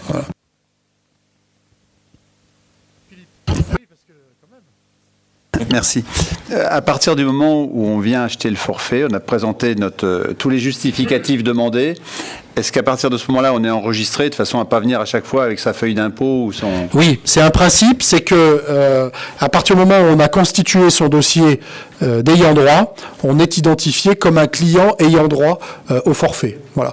L'idée, c'est l'idée, c'est pas de casser les pieds de tout le monde, c'est simplement que, que nous ne soyons pas que nous ne soyons pas dans une disposition où on va permettre des utilisations frauduleuses. Voilà. Donc, on contrôle une première fois, ce qui nous permet de connaître la, la composition familiale euh, et la qualité d'ayant droit habitant à Moutier. Bon, je, je termine après, excuse-moi Noir. Euh, Est-ce que ce soir, dans la délibération, on n'a pas également à voter les sommes correspondantes dans le budget général? Parce que quand on a voté le budget général, il n'y avait pas le montant d'acquisition de ces 300 forfaits. Et la question, c'est... Voilà. On n'aura pas de, de facturation sur 2018, donc euh, effectivement, ça sera à prévoir sur le budget 2019. Juste euh, parce qu'on est en séance du conseil municipal, il faut euh, être très solennel sur cette affaire-là euh, et veiller tous collectivement euh, à la régularité euh, de l'affaire. Évidemment, la fraude, l'effet d'aubaine, je sais, ça, c'est le risque qui pèse sur l'opération. Ce qu'on a réussi à obtenir là est quasiment inespéré. Il faut qu'on fasse confiance euh, aux gens et qu'on encourage les gens euh, à rester dans le, la stricte légalité du dispositif, dans l'intérêt des moutirains, dans l'intérêt de tous les moutirains qui pourront bénéficier de ce dispositif. Euh, la fraude tuera le dispositif, c'est sûr. Merci Bernard, oui. Oui, alors pu- puisqu'on délibère, et- et- et il faut être précis, en fait, c'est pas li- c'est pas limitatif au, au chiffre de 300. On bloque pas, on bloque pas les compteurs quand on a atteint. Première question. on- Est-ce qu'on bloque les compteurs quand on a atteint les 300 C'est pour ça que j'ai dit c'est un socle minimal. D'accord. Donc et donc d'autre part, d'autre part, il faudrait peut-être que dans la délibération apparaisse clairement, parce que c'est juste mis dans une parenthèse, mais dans la dans la com c'est par contre très clair, que ça concerne les samedis, dimanches et lundis uniquement. Parce que dans, dans la délibération c'est pas c'est pas très très clair. Il faudrait peut-être le mettre euh, quelque part en. S'il est besoin de préciser, on peut le préciser, mais je crois que ça y est. Et. Oui, mais c'est dans la parenthèse quand même. Ce qui est important, c'est qu'on on soit clair avec nos clients. Voilà. Est-ce qu'il y a d'autres remarques, éclairages? Pas spécialement. Est-ce qu'il y a des oppositions, des abstentions? Écoutez, je suis très heureux et je vous remercie. Je donne la parole à Laurence Rochas sur le spectacle de Noël et la tarification qu'on applique. Oui, donc le 20 décembre, c'est aujourd'hui, donc a eu lieu le, le spectacle de Noël pour les enfants des écoles élémentaires et maternelles, de l'école d'Arantasia et de l'école Sainte-Thérèse. Donc en fait, cette année, ça s'est passé au cinéma. Euh, les petits, c'est-à-dire maternelles, les CP sont allés voir Myrtille et la lettre du Père Noël. Non, la lettre au Père Noël, pardon. Et les, plus grands sont allés voir Dit Lily à Paris. C'est des, des films qui ont été, alors pour le premier, proposés par euh, les amis du cinéma, et le deuxième, choisi par les enseignants.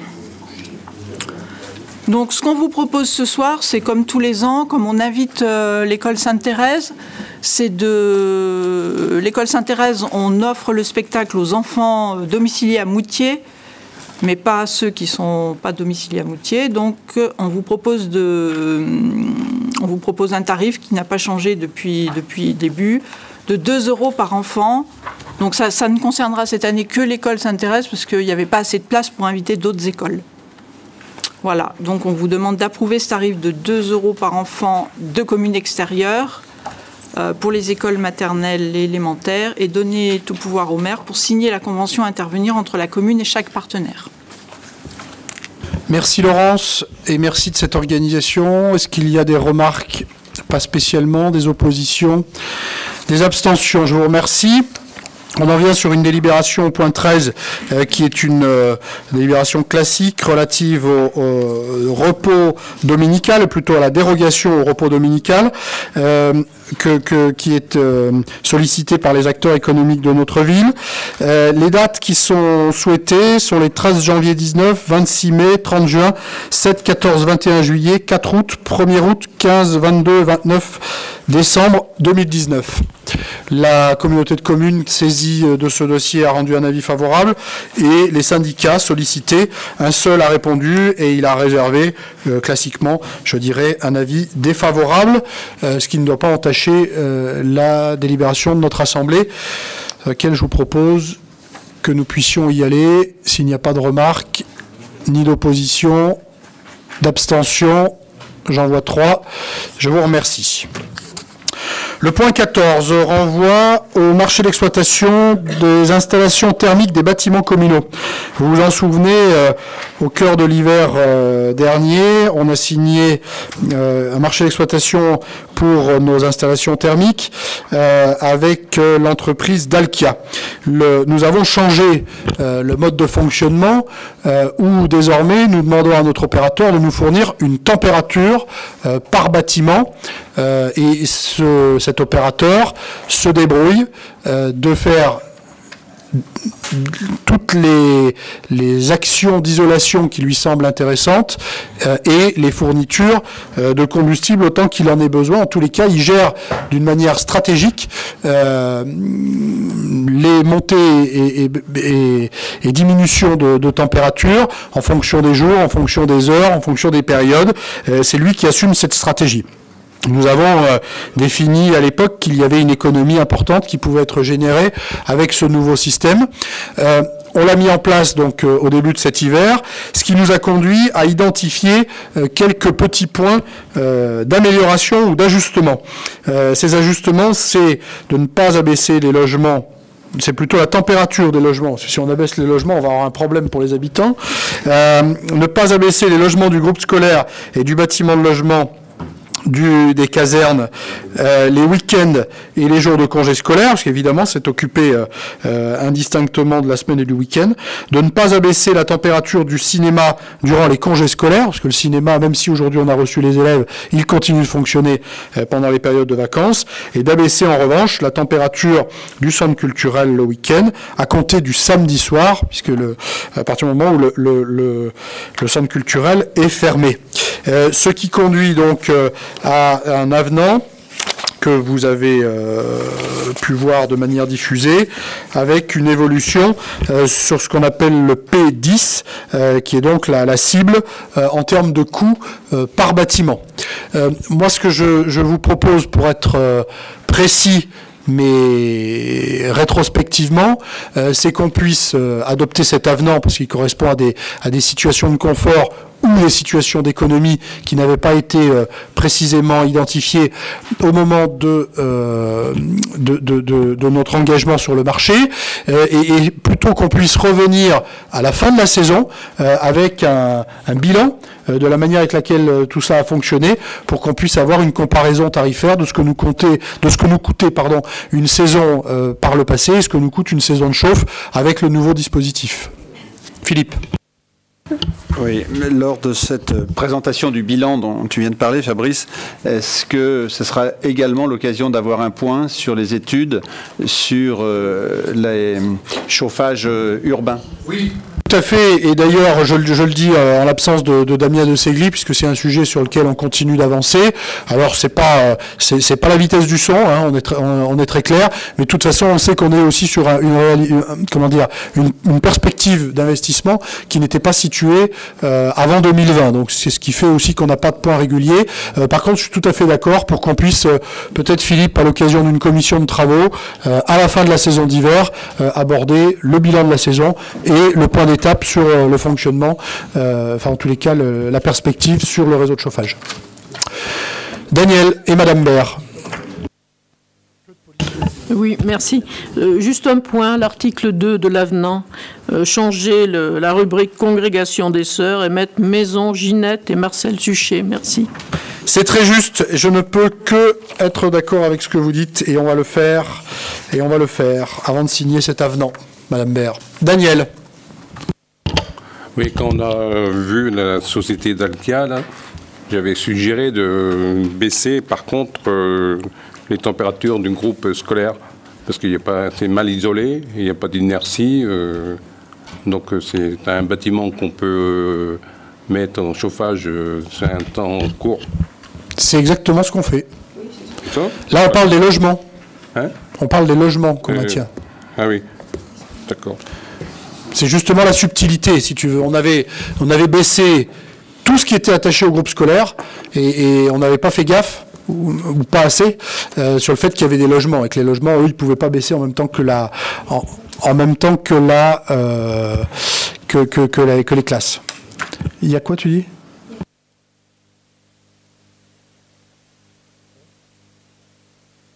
Mais il n'est pas en cible pour l'instant. D'autres remarques Pas spécialement. Je vais donc mettre aux voix. Est-ce qu'il y a des oppositions Des abstentions? Je vous remercie. On a au point numéro 15. euh, tu es autorisé.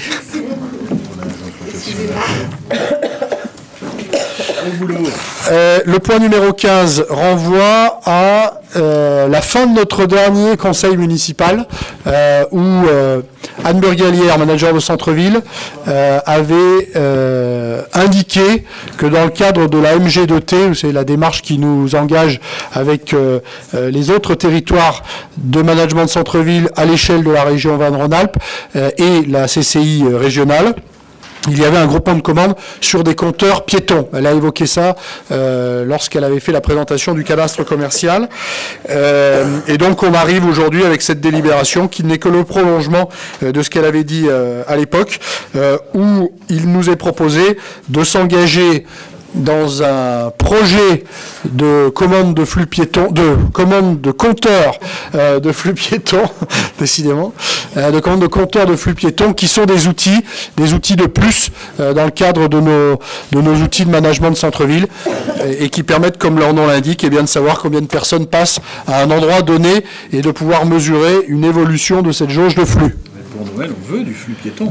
On peut en commander. Alors là, là on est sur, sur un engagement de principe, euh, puisque l'idée, vous savez, c'est comme quand euh, le centre de gestion euh, décide d'aller faire une commande groupée sur les assurances. Là, on est sur un principe de commande groupée de, flux, de, com- de compteur de flux piétons. Donc la délibération de ce soir, c'est un principe dans une commande groupée. Voilà, Bernard. Oui, est-ce qu'on peut être un peu plus précis, euh, disons sur le- l'emplacement qu'on envisage pour ces comptages, et puis sur les objectifs, c'est-à-dire que si parce que en précisant également qu'est-ce que ça que ça peut coûter à la commune, puisque c'est on ne sait pas encore exactement le montant, mais j'ai vu parce qu'il y a quand même beaucoup de pages, hein, il y a quand même beaucoup de beaucoup de pages pour euh, ça n'a pas été synthétisé tout ça, mais euh, bah, pour d'autres trucs vous l'êtes beaucoup moins. Hein. Bah, bon, alors là on a du papier là. hein.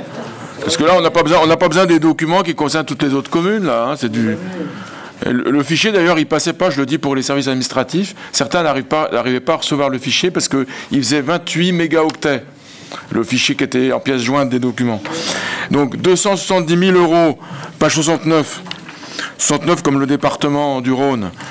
270 000 euros, c'est le total estimé du marché de, bon, de commandes groupées. Alors combien ça peut faire pour Moutier, c'est pas précisé. Et puis est-ce que surtout, quels sont les objectifs? Parce que dépenser cette somme-là, c'est pour qu'il y ait des objectifs quand même très utiles. Alors, le prix, on est sur une valeur cible qui est de l'ordre de 3 000, voire 4 000 euros euh, par compteur piéton. Euh, les objectifs, euh, on, est vraiment ici dans, un outil d'organisation et, et de management de, de notre centre-ville.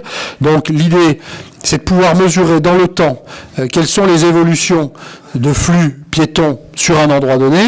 Où est-ce qu'on souhaite le mettre Aujourd'hui, on ne l'a pas encore totalement arrêté, mais l'idée, évidemment, quand on parle de flux piétons avec une dimension commerciale, on pense plutôt à la Grand Rue. Voilà.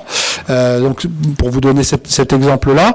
Et alors, l'idée, c'est aussi dans le temps euh, de pouvoir se dire, on réalise un projet dont on pense qu'il va être de nature à capter du flux.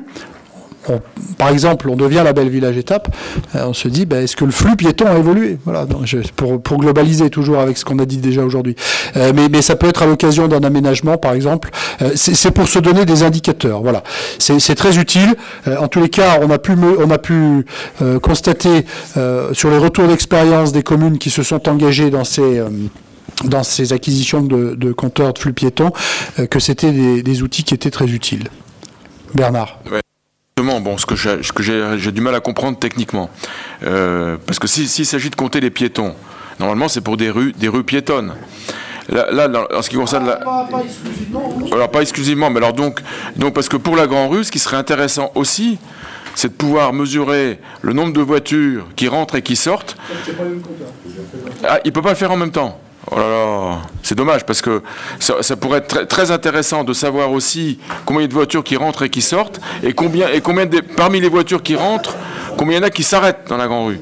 C'est-à-dire Alors, euh, bon. ce, qui, ce qui me rassure, ce qui me ra- s'il vous plaît, ce qui me rassure, Bernard, c'est qu'on a posé exactement la même question. Ça, ça- ça veut dire qu'on a la même préoccupation. Techniquement, j'en ai jamais douté.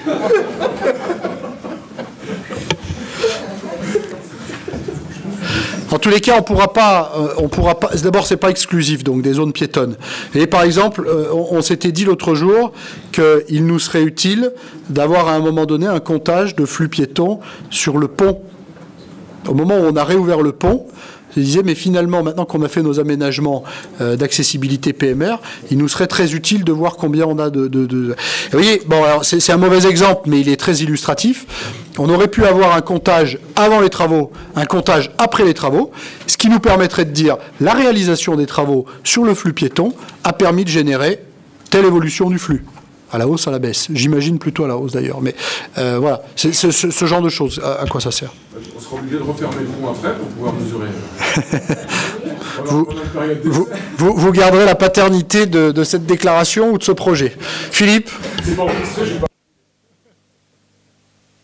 Moi, j'ai deux points. Deux points. Sur, sur le pont, il faudra tenir compte des variations saisonnières liées aux périodes des vacances scolaires.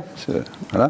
Mais à vous entendre tous les deux sur le comptage dans la grande rue, et euh, en, ne parlant de ne pas compter les voitures, c'est sous-jacent, peut-être, ta volonté de rendre la grande rue piétonne à l'année.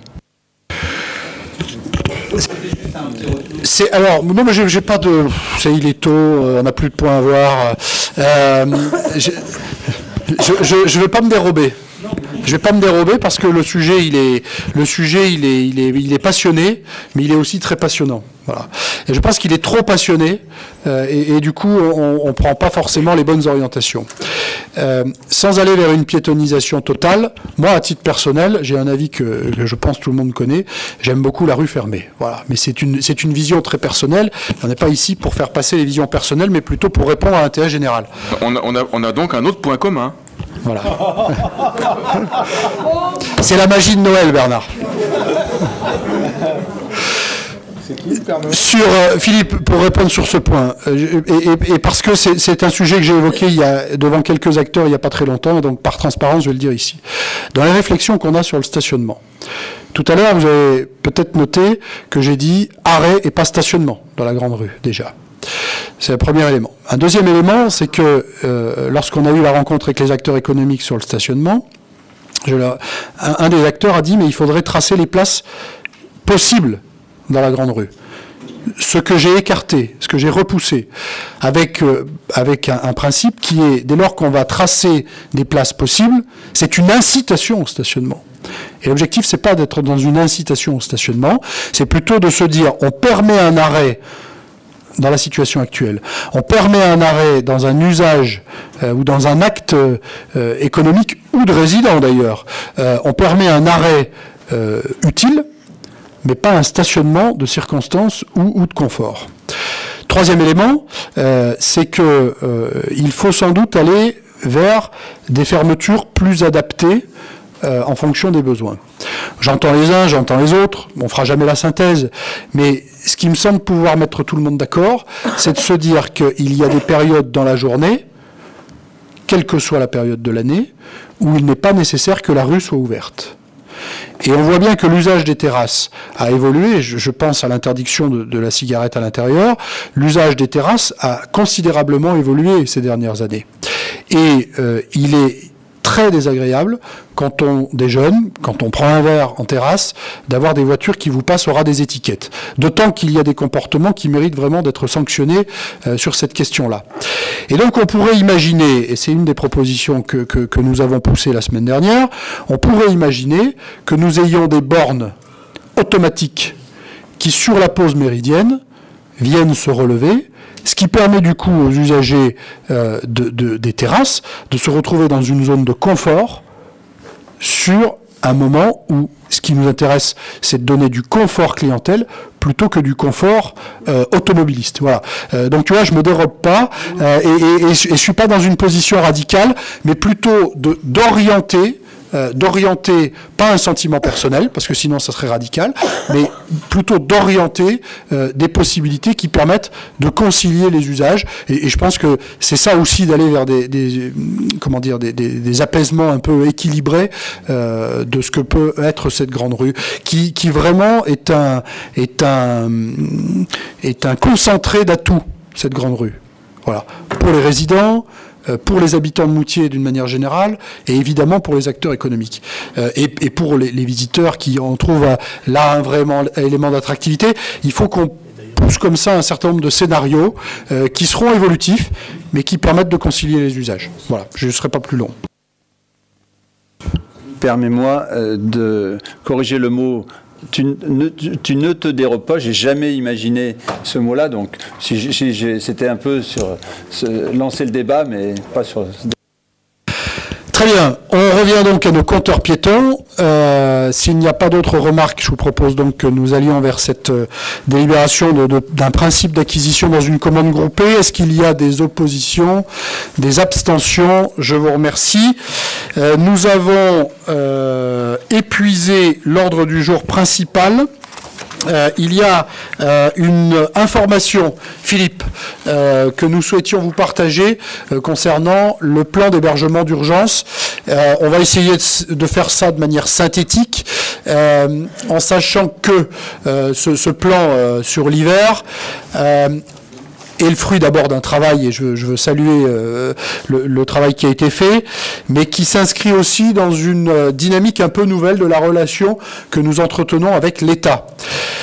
L'année dernière n'a pas été un hiver catastrophique si on le compare avec ce qui s'est passé les 27 et 28 décembre 2014. Pourtant, on a eu un certain nombre de périodes d'inconfort pour les habitants de Moutier et pour euh, les touristes qui euh, se sont retrouvés euh, piégés pour des, questions de, viabilité hivernale et des questions de, circulation sur des périodes d'arrivée. Il faut donc qu'on puisse évoluer. C'est ce que l'État a accepté de faire. Et je voulais rendre hommage au travail qui a été fait par Nicolas Martranchard, qui était alors sous-préfet de l'arrondissement d'Albertville, qui a reçu une commande du préfet de la Savoie, Louis Logier, qui est arrivé pendant la saison d'hiver et qui n'était pas, euh, même s'il a une expérience de, la montagne, il n'avait pas, euh, il n'avait pas une sensibilisation à ce que nous rencontrons ici sur notre sur notre territoire. Et il a donc demandé à Nicolas Martranchard, qui était plutôt en fin de en, fin de, service euh, sur cet arrondissement, un retour d'expérience. Et ce que ce que Martranchard a écrit a été très pertinent. Euh, ce qui nous a permis du coup euh, d'ouvrir une nouvelle voie de communication et de travail avec les services de l'État. Ce qui veut dire aussi que les samedis qui viennent devraient, je, le souhaite, je touche du bois, je croise les doigts, euh, être moins compliqués que ceux qu'on a pu connaître par le passé. À, situ- à situation évidemment comparable. Et ce sera encore mieux normalement à partir de 2019, de novembre 2019, donc de la saison, pas celle-ci mais la suivante, puisque enfin, enfin, euh, il y a euh, euh, une évolution législative sur les pneus hiver. Je les appelle comme ça parce que c'est- comme ça que la loi les a, les, qualifiés. Il y aura donc des décrets par département. Je ne doute pas que le préfet de la Savoie sera très volontaire en la matière et que nous aurons un contrôle efficace euh, des équipements de pneus hiver euh, sur l'ensemble des véhicules euh, et quelles que soient euh, les conditions du moment euh, qui arriveront sur notre territoire. C'est une disposition qui est très très importante et, et que, alors je suis pas tout seul, mais que, que j'ai vraiment poussé depuis des années, euh, en tous les cas depuis 2014 avec force. On va avoir, et je te laisse Philippe ensuite la parole, on a désormais nous avions obtenu depuis 2014, euh, à la faveur, si je puis dire, de, la fin de la, fin décembre, euh, nous avions obtenu d'être qualifiés PC de secteur, ce qui nous a donné un peu de boulot supplémentaire, euh, mais c'était utile. On a obtenu euh, qu'à compter de, la saison euh, 2018-2019, nous soyons PC de secteur avec une véritable organisation pratique et stratégique depuis Moutier, ce qui nous fait être présent euh, dans la réunion de préparation de week-end euh, chaque semaine euh, à la préfecture à Chambéry, ce qui est très utile parce que du coup on dispose de toutes les informations que nous n'avions pas forcément par le passé et ce qui nous donne aussi la capacité de pouvoir solliciter avec le respect des formes naturellement, mais de pouvoir solliciter directement les forces de gendarmerie, de sapeurs-pompiers et euh, d'équipements euh, directement depuis le PC ici de, de Moutier, ce qui est une véritable évolution. Philippe. Ah bah, pour faire suite à ce que tu viens de dire, c'est tout simplement, par exemple, ce, ce week-end qui arrive n'est pas considéré comme un week-end entre guillemets à risque. hein, euh, pas de chute de neige conséquente euh, en dessous de 1200 mètres et euh, comment dire, euh, bah, pas d'activation spécialement euh, au niveau de la gendarmerie pour les aires de chaînage. D'accord? Donc nous, en fait, on a fait une refonte, je vais faire le plus synthétique possible. hein. On a fait une refonte un petit peu du, du, du plan euh, du PCS, donc euh, accompagné euh, toujours euh, par Jean-Charles, Dominique Assier, euh, Sylvain Torchot nous a peut-être sur le côté euh, numérique, parce que moi aussi je suis pas un as du numérique, donc il faut bien aussi se mettre euh, avec des gens qui ont des compétences. Et tous les services techniques, les services de, police qui nous, ont aidés là-dessus pour essayer de trouver la meilleure démarche. Vous avez vu que on vous a fait passer un petit questionnaire concernant euh, bah, entre guillemets vos compétences et que comment vous pourriez aider dans le cadre où on mettrait en, en place un plan d'hébergement d'urgence, d'accord? Donc euh, on a eu une soixantaine de réponses parmi les élus et parmi les agents. Moi je trouve que c'est quand même pas trop mal, avec euh, des, des compétences bah, un petit peu disons de, de, de, de toutes sortes, soit au niveau technique, au niveau permis, au niveau langue parlée, etc. Enfin c'était pas mal. Donc là on a euh, mis en place un organigramme beaucoup plus simple avec un système de au niveau de la gestion de la crise avec un système de commandement avec euh, donc monsieur le maire, moi-même, Jean-Charles et l'élu permanence, d'accord? Et une direction des opérations avec euh, police administrative technique. Donc là pour l'instant, on a mis que des noms avec des comment dire les les patrons on dire on va dire hein, Da- Daniel Kostov, Dominique Cassier, Philippe Dalia, Eric Breza et derrière en fait les petits cases bah, ils vont se remplir par rapport à ce que sur un week-end qu'on qu'on qu'on- est mis euh, comment dire en, en plan d'hébergement d'urgence et bah suivant les compétences des gens. D'accord? Donc euh, sur les compétences et les besoins du moment on va remplir les cases euh, par rapport à ça et affecter les gens à des missions bien particulières d'accord Euh, diapo suivante Une équipe terrain, sollicitation agent élu. Là-dessus, on aura sur la responsabilité de Philippe Dalia et, Eric Breza. Saint-Paul accueille la population dans les gymnases. Et là, c'est le gros, le gros point qu'il faut comment qu'on travaille avec euh, bah, le fait que les gymnases soient prêts, euh, que les, les lits picots soient prêts, qu'on soit capable aussi de répondre euh, à la demande en ravitaillement, etc.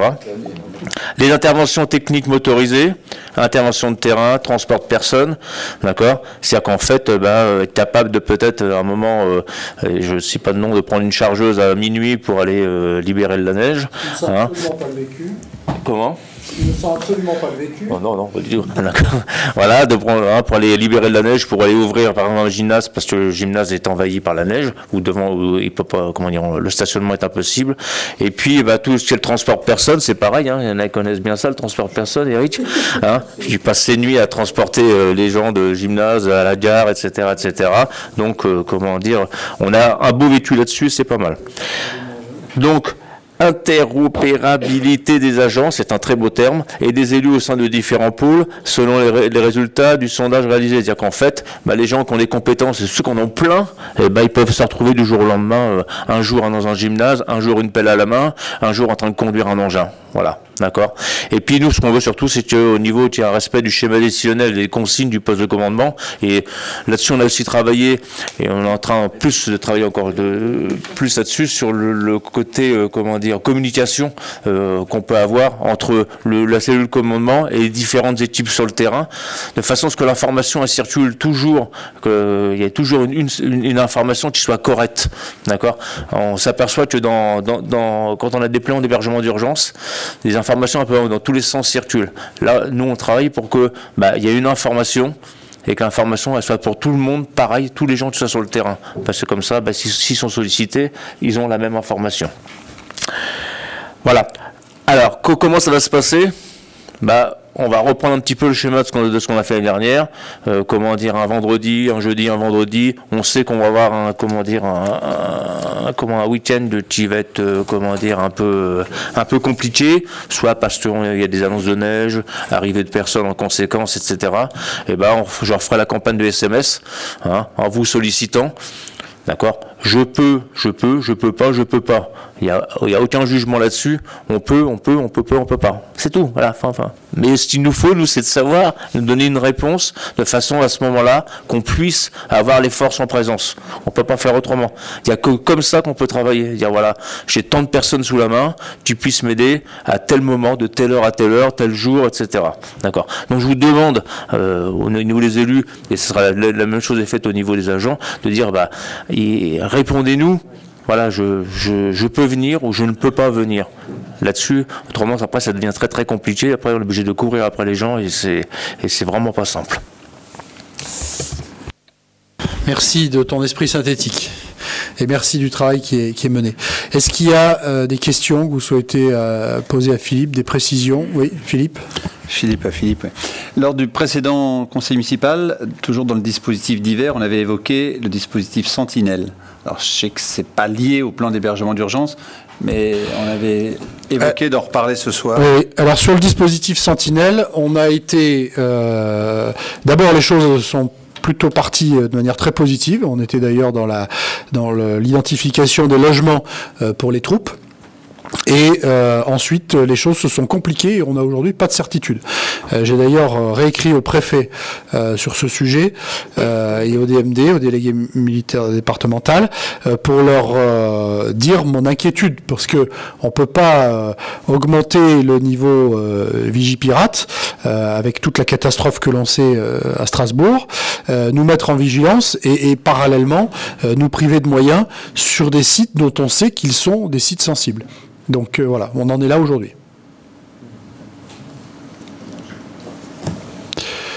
S'il n'y a pas d'autres remarques, merci Philippe Si. Je voulais juste euh, faire une dernière déclaration. Attends, moi j'ai encore deux, su- trois sujets. Ouais.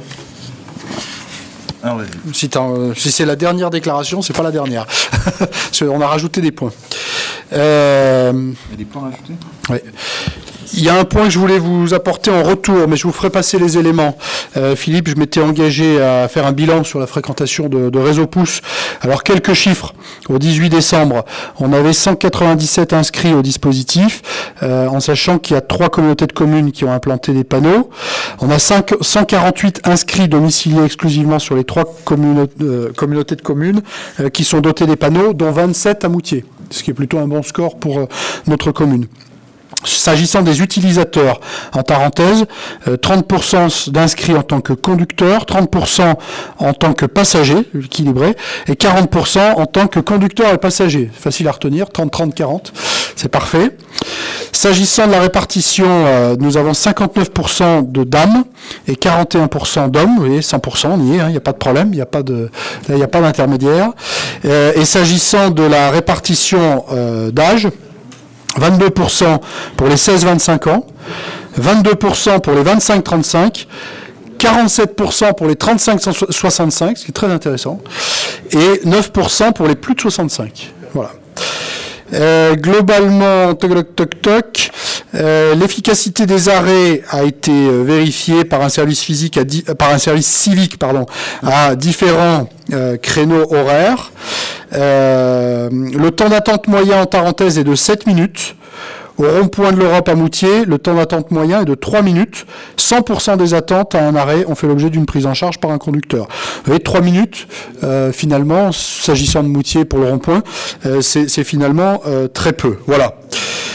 Voilà, c'est les quelques chiffres euh, que je souhaitais vous donner à ce stade. Et on refera, euh, Nathalie, un, tableau, euh, enfin en tous les cas, un document synthétique qui vous permettra, et diffusé, de retrouver tout ça. Il y a deux points, euh, Bernard, que nous sommes convenus de, rajouter en questions diverses. Euh, le premier, et, je voudrais euh, donner la paternité à Madame Baird sur ce point, qui était la question, mais est-ce qu'on peut ouvrir des cahiers de, doléances à Moutier dans le mouvement des Gilets jaunes Et est-ce qu'on fait cette démarche que d'autres communes ont, mise en place? Alors, on a eu l'occasion de, s'en parler après votre message, et c'est l'occasion d'en faire une communication aujourd'hui. Plusieurs choses. Euh, il y a une association d'élus, l'association des maires euh, ruraux, euh, la MRF, euh, qui a décidé spontanément d'engager cette, cette concertation. L'AMF, dont nous sommes membres, l'association des maires de France, on n'est pas membre, nous, de la MRF. L'association des maires de France a été beaucoup plus prudente. Alors, il faut dire que l'AMF l'Association des maires de France, l'ARF, l'Association des régions de France et l'ADF, l'Association des départements de France, euh, ont, constitué maintenant un ensemble euh, avec, euh, avec des échanges réguliers, on va dire, avec le, avec le gouvernement. L'ensemble des trois, qui portent un nom d'ailleurs, je ne sais plus comment ça s'appelle, démocratie directe, je crois, l'ensemble démocratie directe a été plus prudent que la MRF sur la mise en place de ces cahiers de doléances pour plusieurs raisons. La première qui a été de dire les communes et les maires doivent être euh, en contact et doivent être le premier réceptacle, mais ils ne peuvent pas être les animateurs euh, de cette démarche. Et, ça, c'est début décembre, hein, je vous dis ça. Ne peuvent pas être les euh, animateurs de cette démarche. On est avant que le président de la République ne s'exprime. Voilà. Deuxième, deuxième élément, si le gouvernement ne dit pas quelles sont les conditions de l'organisation d'une concertation, il nous est difficile d'autorité de la mettre en œuvre. Troisième élément, recueillir, des, recueillir des doléances, c'est bien, mais qu'est-ce qu'on va en faire une fois qu'on les aura recueillies? Et si c'est nous qui ouvrons cette euh, concertation, quelque part, on sera responsable de quelque chose qu'on ne nous a pas demandé. Et donc, ces doléances vont revenir vers nous. Si on les envoie au préfet qui dit je vous ai rien demandé, on les envoie au ministère de l'Intérieur qui vous dit je vous ai rien demandé, etc. vous avez compris. Euh, et, donc l'AMF a dit euh, les communes et les maires, c'est le premier échelon de démocratie, on l'a toujours dit. On a d'ailleurs fait remonter beaucoup de choses au gouvernement qui ne nous a pas beaucoup écoutés. Donc quand on va remonter, on était légitime à remonter les sujets de nos communes, du fonctionnement de nos collectivités, mais le gouvernement ne nous a pas donné de légitimité pour remonter euh, directement des sujets du citoyen qui concernent d'ailleurs des compétences plutôt de, l'État, ou en tous les cas de la connexion de l'État. Voilà pourquoi nous avons été prudents. Euh, et que euh, dès début décembre, euh, nous ne nous sommes pas engagés dans l'ouverture de ces recueils. Puis le, président de la République s'est exprimé. On en est d'ailleurs très heureux parce qu'il s'est souvenu qu'il y avait des maires dans ce pays. Le 20, 20, 21, 22 novembre, quand il y a eu le congrès des maires, ça semblait pas le préoccuper beaucoup parce qu'il n'a pas trouvé le temps pour venir jusqu'à euh, Porte de Versailles, ce qui est quand même pas très très loin hein, euh, de, de l'Élysée, mais il n'a pas trouvé le temps de, venir, même s'il avait pris l'engagement de, le faire. Euh, et je pense qu'il a d'ailleurs fait une, une, faute politique à ce moment-là. En tous les cas, quand il s'est exprimé dernièrement, il s'est souvenu qu'il y avait des maires et des mairies et des collectivités locales. Très bien. Il a dit qu'il souhaitait qu'il y ait une grande concertation qui soit engagée. Alors avec l'AMF, on s'est dit, eh bien, nous avons bien fait d'attendre puisque euh, des choses ont été annoncées. Et d'ailleurs, on a entendu euh, de la part de ministères plutôt bien introduits euh, qu'on aurait même du matériel qui serait mis à notre disposition pour que cette grande concertation puisse être organisée. Et on s'est dit, ben, on a bien fait d'être sage parce qu'au moins on va pouvoir recueillir ça selon un cadre, des formes et ensuite une destination qui auront été dictées par ceux qui en ont la responsabilité. Ce qui est dommage, c'est que depuis euh, les grandes déclarations, mais finalement, il ne s'est pas passé grand-chose. Donc, on est toujours un peu orphelin de la manière avec laquelle on peut répondre au mieux de, euh, cet engagement de concertation. Moi, j'y suis très favorable. Et je vous l'ai dit, Madame Baird, et je sais que vous l'êtes naturellement, puisque vous avez été l'acteur de, ce sujet ici. Euh, moi, j'ai j'ai rencontré euh, sur le rond-point nos, interlocuteurs gilets jaunes le jour du don du sang. Euh, après être allé donner mon sang, je suis allé les voir, euh, avec qui on a échangé pendant, je sais pas moi, une petite demi-heure, à qui j'ai eu l'occasion de dire d'ailleurs combien nous, communes, étions finalement dans un combat similaire à celui des Gilets jaunes, chacun avec la strate qu'il doit, représenter. Et je leur ai dit aussi combien on était euh, orphelin d'un interlocuteur qui entende, parce que Jacqueline Gouraud, même si c'est quelqu'un qui humainement est remarquable, euh, pour l'instant, elle n'a pas encore quand même beaucoup entendu ce que les collectivités locales avaient à lui dire. Euh, et quand bien même un certain nombre d'élus sont allés dans son ministère le mardi du congrès des maires, moi je n'y suis pas allé. Euh, mais, mais ils ont entendu plutôt des choses désagréables. Donc euh, j'ai bien fait de pas y aller. Euh, donc voilà, j'ai, et j'ai proposé aux, Gilets jaunes de Moutier, enfin de Moutier, qui sont installés à Moutier, de les recevoir pour un temps d'échange avec eux, ce qui permettait de formaliser un certain nombre de choses. J'ai fait deux fois cette proposition euh, de, rencontre euh, à laquelle ils n'ont pas donné suite pour l'instant. Je, ne demande pas forcément à les voir, mais en tous les cas, euh, je, leur ai ouvert par deux fois la porte afin qu'on puisse avoir cet échange. une proposition qui a été renouvelée d'ailleurs, pas plus tard que cette semaine, après qu'il y ait eu les auditions à la gendarmerie, enfin avant qu'il y ait d'ailleurs les auditions à la gendarmerie, et, et, on a eu un échange complémentaire dans le prolongement de cette audition. Donc voilà, on se parle beaucoup. Tout ça pour dire que euh, il y a des formes de dialogue qui sont ouvertes, puisque j'en ai fait, euh, j'en ai fait la, démonstration, euh, et, on reste orphelin de, de, la manière avec laquelle on peut mettre en place cette affaire on va pas rester, euh, on va pas rester euh, euh couillon plus longtemps, euh, et, on va le faire puisque puisque le, gouvernement est pas foutu euh, de, de, nous donner les éléments dans le temps utile, parce que évidemment au mois de mars les choses seront plus les mêmes qu'aujourd'hui. D'autant qu'il y aura sans doute d'autres frictions qui auront été, je, je, je le regrette, mais sans doute d'autres frictions qui seront apparues d'ici là. Euh, notamment l'effet psychologique de la retenue à la source en janvier, sur lequel on peut craindre que ça euh, agisse sur le moral des troupes, euh, même si c'est psychologique. Euh, donc, ce que nous allons faire, et je vous le propose ce soir ici, j'en ai parlé à personne d'autre avant, mais euh, je vous propose qu'on acte de cela ensemble tout de suite. Je vais vérifier la faisabilité opérationnelle avec Dominique. C'est que dès lundi, donc lundi 20, non pas lundi évidemment, mardi 26. Quel jour on est là 24, 25, mercredi 26, pardon. Mercredi 26. Oui, si vous voulez, mais euh, mercredi. Pourquoi le 26 et pas demain? Parce que demain on n'est pas tout à fait prêt pour le faire. Voilà. Et je voulais le, le, le faire valider par, euh, par notre assemblée. À partir de mercredi 26, qu'on puisse avoir une, un, moyen de, de, de, de, laisser des choses euh, ici à l'accueil de la mairie. Voilà.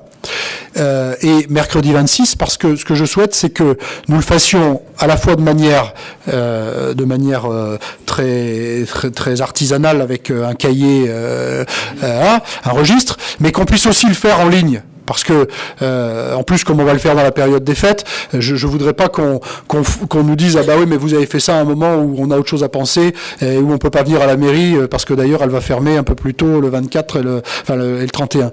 Euh, donc on va le faire en même temps euh, de manière numérique euh, et c'est pour ça que j'ai voulu valider la, la, la, la, question technique avant. Voilà. Euh, voilà donc ça sera opérationnel à partir du 26 c'est-à-dire mercredi euh, prochain, euh, ici à Moutier, la possibilité de, faire ce que vous appeliez cahier de doléances, c'est ce qui a été dit ailleurs également.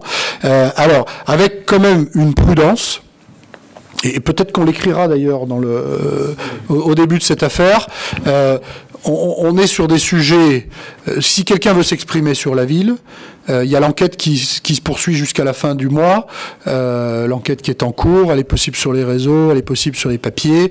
Euh, on a aujourd'hui plus pas, pas, loin de 300 réponses, je crois. Hein, de, voilà, pas loin de 300 réponses, ce qui est pas mal d'ailleurs.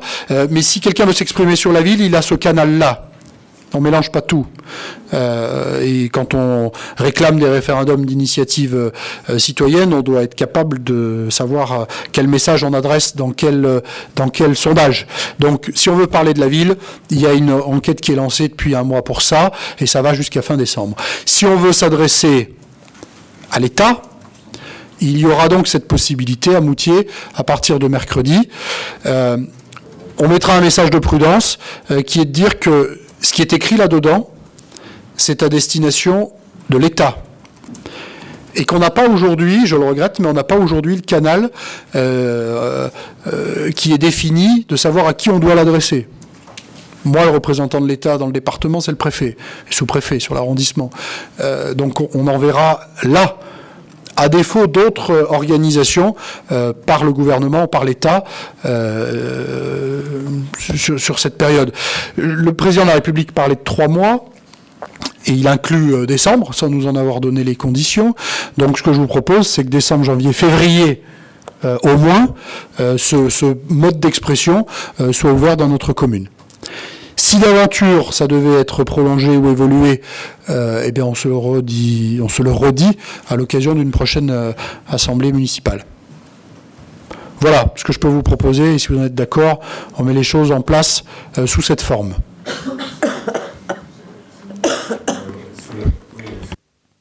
Est-ce qu'on accepte uniquement les... Enfin, on accepte. De toute façon, s'il y a un registre, les gens peuvent écrire, mais il faut quand même que ce soit signé, non? À votre avis? Mais j'aurais tendance à dire, il faut inciter. Mais, on sait très bien qu'on a parfois des expressions euh, pour lesquelles l'auteur ne souhaite pas être identifié. Bon, euh, on sait aussi, euh, vous êtes allé au contact, je suis allé au contact, dans, dans ces groupes formés, on a des statuts, des avis, des aspirations qui sont très diverses, pour pas dire parfois opposées. Euh, donc euh, tout le monde n'a pas envie de se faire connaître sur ce qu'il peut attendre. Voilà. Donc on peut pas je suis pas sûr qu'il faille le, rendre obligatoire parce que l'idée c'est pas de freiner la contribution, c'est plutôt de la de la faciliter. Voilà. Par contre, euh, je, mettrai un petit texte au début, pas un petit texte que je peux qualifier de, la représentation municipale, qui est de dire euh, c'est une initiative volontaire de la commune. euh, pour laquelle le gouvernement n'a pas donné les directives et qui sera adressée aux représentants de l'État, euh, sauf consigne euh, complémentaire qui serait donnée d'ici la fin de la contribution, c'est-à-dire fixée à ce jour au 28 février 2019. Voilà. Ça vous va? On y va comme ça? Très bien. Je vous remercie. Dernier point. Euh, pour ce qui me concerne, Euh, Bernard, vous avez souhaité qu'on évoque euh, le projet médical sur lequel nous avons eu des informations le 12 décembre dernier. Moi, ce que je vous propose, et c'est pas qu'une question d'horaire, c'est qu'il faut sur ce sujet-là que nous puissions prendre du temps. Donc, mo- moi, je vais vous donner, si vous voulez bien, et c'est pas, un- veux pas que ça soit qu'un monologue, mais en tous les cas pour ce soir, je vous propose que ça, il en soit ainsi. J'ai participé euh, au conseil de surveillance du 12 décembre, que je puisse vous donner les éléments de ce que j'en ai entendu, ce qui nourrira euh, déjà euh, la connaissance de chacun. Et ce que je vous propose, et d'ores et déjà une date qui a pu être identifiée, c'est que nous nous retrouvions le 17 janvier prochain à 18h30. Je vous inviterai même à garder euh, votre temps à partir de 17h euh, pour qu'on puisse travailler au fond sur ce sujet-là. Parce que euh, chacun a une lecture, des, envies, des aspirations, il faut qu'on puisse les exprimer. Je souhaite aussi, en tous les cas c'est normalement comme ça que les choses ont été montées, que le 17 euh, on puisse avoir un représentant du CHAM, normalement le directeur délégué. J'ai proposé aussi que la, directrice par intérim du, du CHMS, du Centre hospitalier Métropole Savoie, euh, puisse être présente, au moins pour un temps de présentation euh, sur le débat, si vous souhaitez qu'il soit, qu'il soit présent, ces représentants du, du CHAM, pourquoi pas, si vous préférez que ça soit sans eux, pourquoi pas aussi, je veux dire, de manière très libre, en tous les cas, qu'on se donne 1h30 euh, pour parler de ce sujet, euh, les différentes, euh, les différentes facettes et les attentes qui peuvent être exprimées. Voilà. Pour que ça puisse quelque part nourrir ce que moi je dois aller relayer. Euh, assemblée municipale, qu'est-ce que je dois aller relayer euh, ensuite euh, au moment du, conseil de surveillance ou même par anticipation puisque nous avions dit qu'il fallait une expression avant le conseil de surveillance. Si vous êtes d'accord Bernard, je propose qu'on on, procède de la sorte. Je vais vous dire mais de manière très synthétique. Euh, ce que j'ai euh, retenu, je, vous fais grâce du diagnostic, euh, mais ce que j'ai retenu s'agissant de Moutier. D'abord, une affirmation de la complémentarité, une proposition d'offre de, de mixité. Il est dit Moutier doit être le point d'entrée hospitalier et le site de réponse à une partie des besoins de la population de Moutier et des deux vallées en amont. Sous-entendu, en amont du traitement euh, hospitalier, en coordination avec euh, Bourg-Saint-Maurice. À l'échelle du CHAM, il y a aujourd'hui 79 médecins. L'objectif 2023 est à 96 médecins, avec euh, des nouveaux postes médicaux financés par une réduction des remplaçants, qui coûtent plus cher. Un renforcement de la gouvernance médicale, avec des pôles médicaux et une présidence médicale en binôme. Ça, comprenez-le, euh, dans l'établissement, euh, des pôles médicaux en fonction des spécialités et une présidence médicale de chacun de ces pôles. Il y a cinq pôles qui sont en cours de, de définition. Et euh, l'objectif, c'est qu'il y ait au-delà de ces cinq pôles en cours de définition des missions transversales qui, concernent, qui les concernent tous, ou presque. Des objectifs cibles euh, pour 2023 avec une croissance d'activité euh, qui, est fixe- qui est identifiée pour une moyenne à 14%, ce qui est ambitieux. Euh, sur la, alors, euh, nous, nous disent nos interlocuteurs, sur la base d'estimations prudentes, pourtant, compte tenu de la situation isolée euh, du CHAM en proximité. Et c'est là où, on reparle de Moutier d'ailleurs, en disant ce site euh, qui n'est pas au milieu de centres urbains présente une forme d'isolement. Et donc, l'activité doit pouvoir fonctionner dès lors que l'offre est étoffée et de qualité. Les deux, les deux, les deux sujets sont, sont importants. Voilà. Euh, il y a une trajectoire économique naturellement qui est euh, associée à cette affaire, euh, avec aujourd'hui un déficit qui est de 3,6 millions d'euros en 2018 et un objectif d'équilibre à l'horizon 2022 des projets d'investissement avec, et c'est affirmé de nouveau, la reconstruction de l'EHPAD et de l'USLD de Moutier. Je vous parle que de Moutier. Euh, alors, je, vous dis ce qu'a dit le, DGA, M. Mété, euh, qui était présent le 12 décembre. Respect des engagements déjà pris, euh, EHPAD avec mobilisation d'un million par anticipation. C'est-à-dire que pour avancer d'ores et déjà sur la reconstruction de l'EHPAD des Cordeliers, mobilisation d'un euro par anticipation sur les fonds de l'ARS. Pas de demande d'un plan d'économie et aide en trésorerie de l'ARS avec un million d'euros, là aussi, dès cette année. Rénovation du sanitaire de Moutier pour permettre la construction des Cordeliers. C'est très important ça, parce que euh, on ne se limite pas à dire on va reconstruire les Cordeliers. J'insiste, ça me semble important. Rénovation du sanitaire visant à la construction des Cordeliers, c'est-à-dire qu'on identifie la manière avec laquelle on va traiter le sanitaire avant de euh, s'intéresser à la question de la gériatrie. Euh, oui, alors oui, alors voilà, parce que là il y a encore un million qui traîne. Euh, donc rénovation du sanitaire de Moutier et travaux à Albertville pour l'accueil de la médecine du sport, c'est un vieux sujet. Sur ces deux sujets, donc du sanitaire de Moutier et de l'accueil de la médecine du sport, mobilisation là encore par anticipation d'un million d'euros pour que ces sujets puissent euh, avancer. Voilà, c'est les, quelques, et de manière très synthétique, mais les quelques éléments euh, que je voulais vous, que je voulais vous, partager, euh, que je voulais vous partager. Ces, premiers éléments ont, reçu un, accueil. raisonné, mais, mais, mais plutôt positif euh, du, du conseil de surveillance le, le 12 décembre. Voilà. J'ai pas lu tout ce qui a été écrit depuis euh, et qui est paru dans la presse, donc je, je- vous avez ma, ma seule lecture à ce stade. Voilà. Je veux bien qu'il y ait une expression, si vous le voulez, Bernard, et, et après vraiment je renvoie au 17 janvier. Si, si la méthode vous va bien. Non, non, mais je suis d'accord. C'est une expression de méthode. Non, non, mais je veux bien. Et, et après, si vous êtes d'accord, on- le, le débat de fond, on le porte le 17 janvier.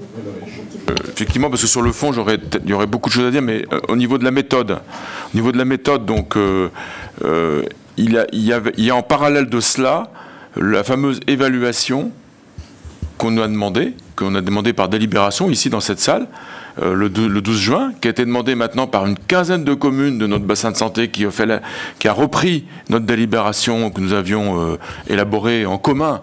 Euh, on avait fusionné nos textes le 12 juin dernier, et dans, et dans, et dans cette délibération, nous demandions, nous demandions à ce qu'il y ait une évaluation un bilan qui soit fait de ce qui s'est passé depuis trois ans, puisqu'on a trois ans d'expérience euh, depuis la, première phase en fait du plan de l'ARS, hein, que, que nous on appelle, que moi j'ai tendance à appeler une déconstruction plutôt qu'une construction, puisqu'on a enlevé des choses, on n'a pas rajouté, on a enlevé des choses. Euh, donc ça, cette évaluation-là, est-ce que vous avez une information on a, Nous, on, attend, qui- quand je dis on, euh, je, prends ma casquette de collectif, on, on attend, on attendait un courrier du directeur de l'ARS à ce sujet, et euh, bon, qui, paraît-il, euh, aurait émis un avis favorable à ce qu'il y ait cette évaluation qui soit faite. Mais si, tel est le cas, ce qui serait quand même euh, euh, très positif, qu'on puisse avoir cette évaluation, euh, il faudrait absolument qu'elle ait lieu avant euh, avant qu'on boucle, qu'on boucle le projet médical, parce que le projet médical, il, pourrait être réorienté en fonction des, instructions qui pourraient émaner de cette évaluation. Ou nourri au moins. Euh, au moins. Euh, vous avez eu un contact avec le DG de l'ARS après moi. Donc les dernières informations, c'est vous qui les avez. Voilà. Voilà, ce que je vous propose, si vous en êtes d'accord, on, procède de la sorte et on se retrouvera donc le 17 janvier. Monsieur le maire, est-ce que, est que vous pouvez euh, appuyer euh, au niveau méthodologique euh, cette demande? Je, l'ai fait, je l'ai fait avant, avant que vous ne voyiez Jean-Yves Graal. on avait eu cet échange. il vous l'a dit ou pas, mais en tous les cas, on avait eu cet échange. parce que du point de vue méthodologique, c'est quand même important. Hein. Bien sûr bien sûr. Mais, je ne veux pas pour autant qu'on lâche la proie pour l'ombre. Euh, et donc, il faut qu'on ait un débat de fond. Euh, je m'y étais engagé. Il faut qu'on ait un débat de fond et on l'aura ici le, le, 17 janvier. Voilà. Ce sera une séance. Alors, euh, en fait, le 17 janvier, c'est pas une séance, c'est pas une séance du conseil municipal. C'est une réunion des élus de notre assemblée municipale. Et je vais vous proposer deux temps. Euh, euh, alors j'ai identifié deux temps d'une heure et demie. Euh, un premier temps de 17, c'est pour ça que je vous parlais de 17 heures, 17h 18h30 sur le l'étude urbaine.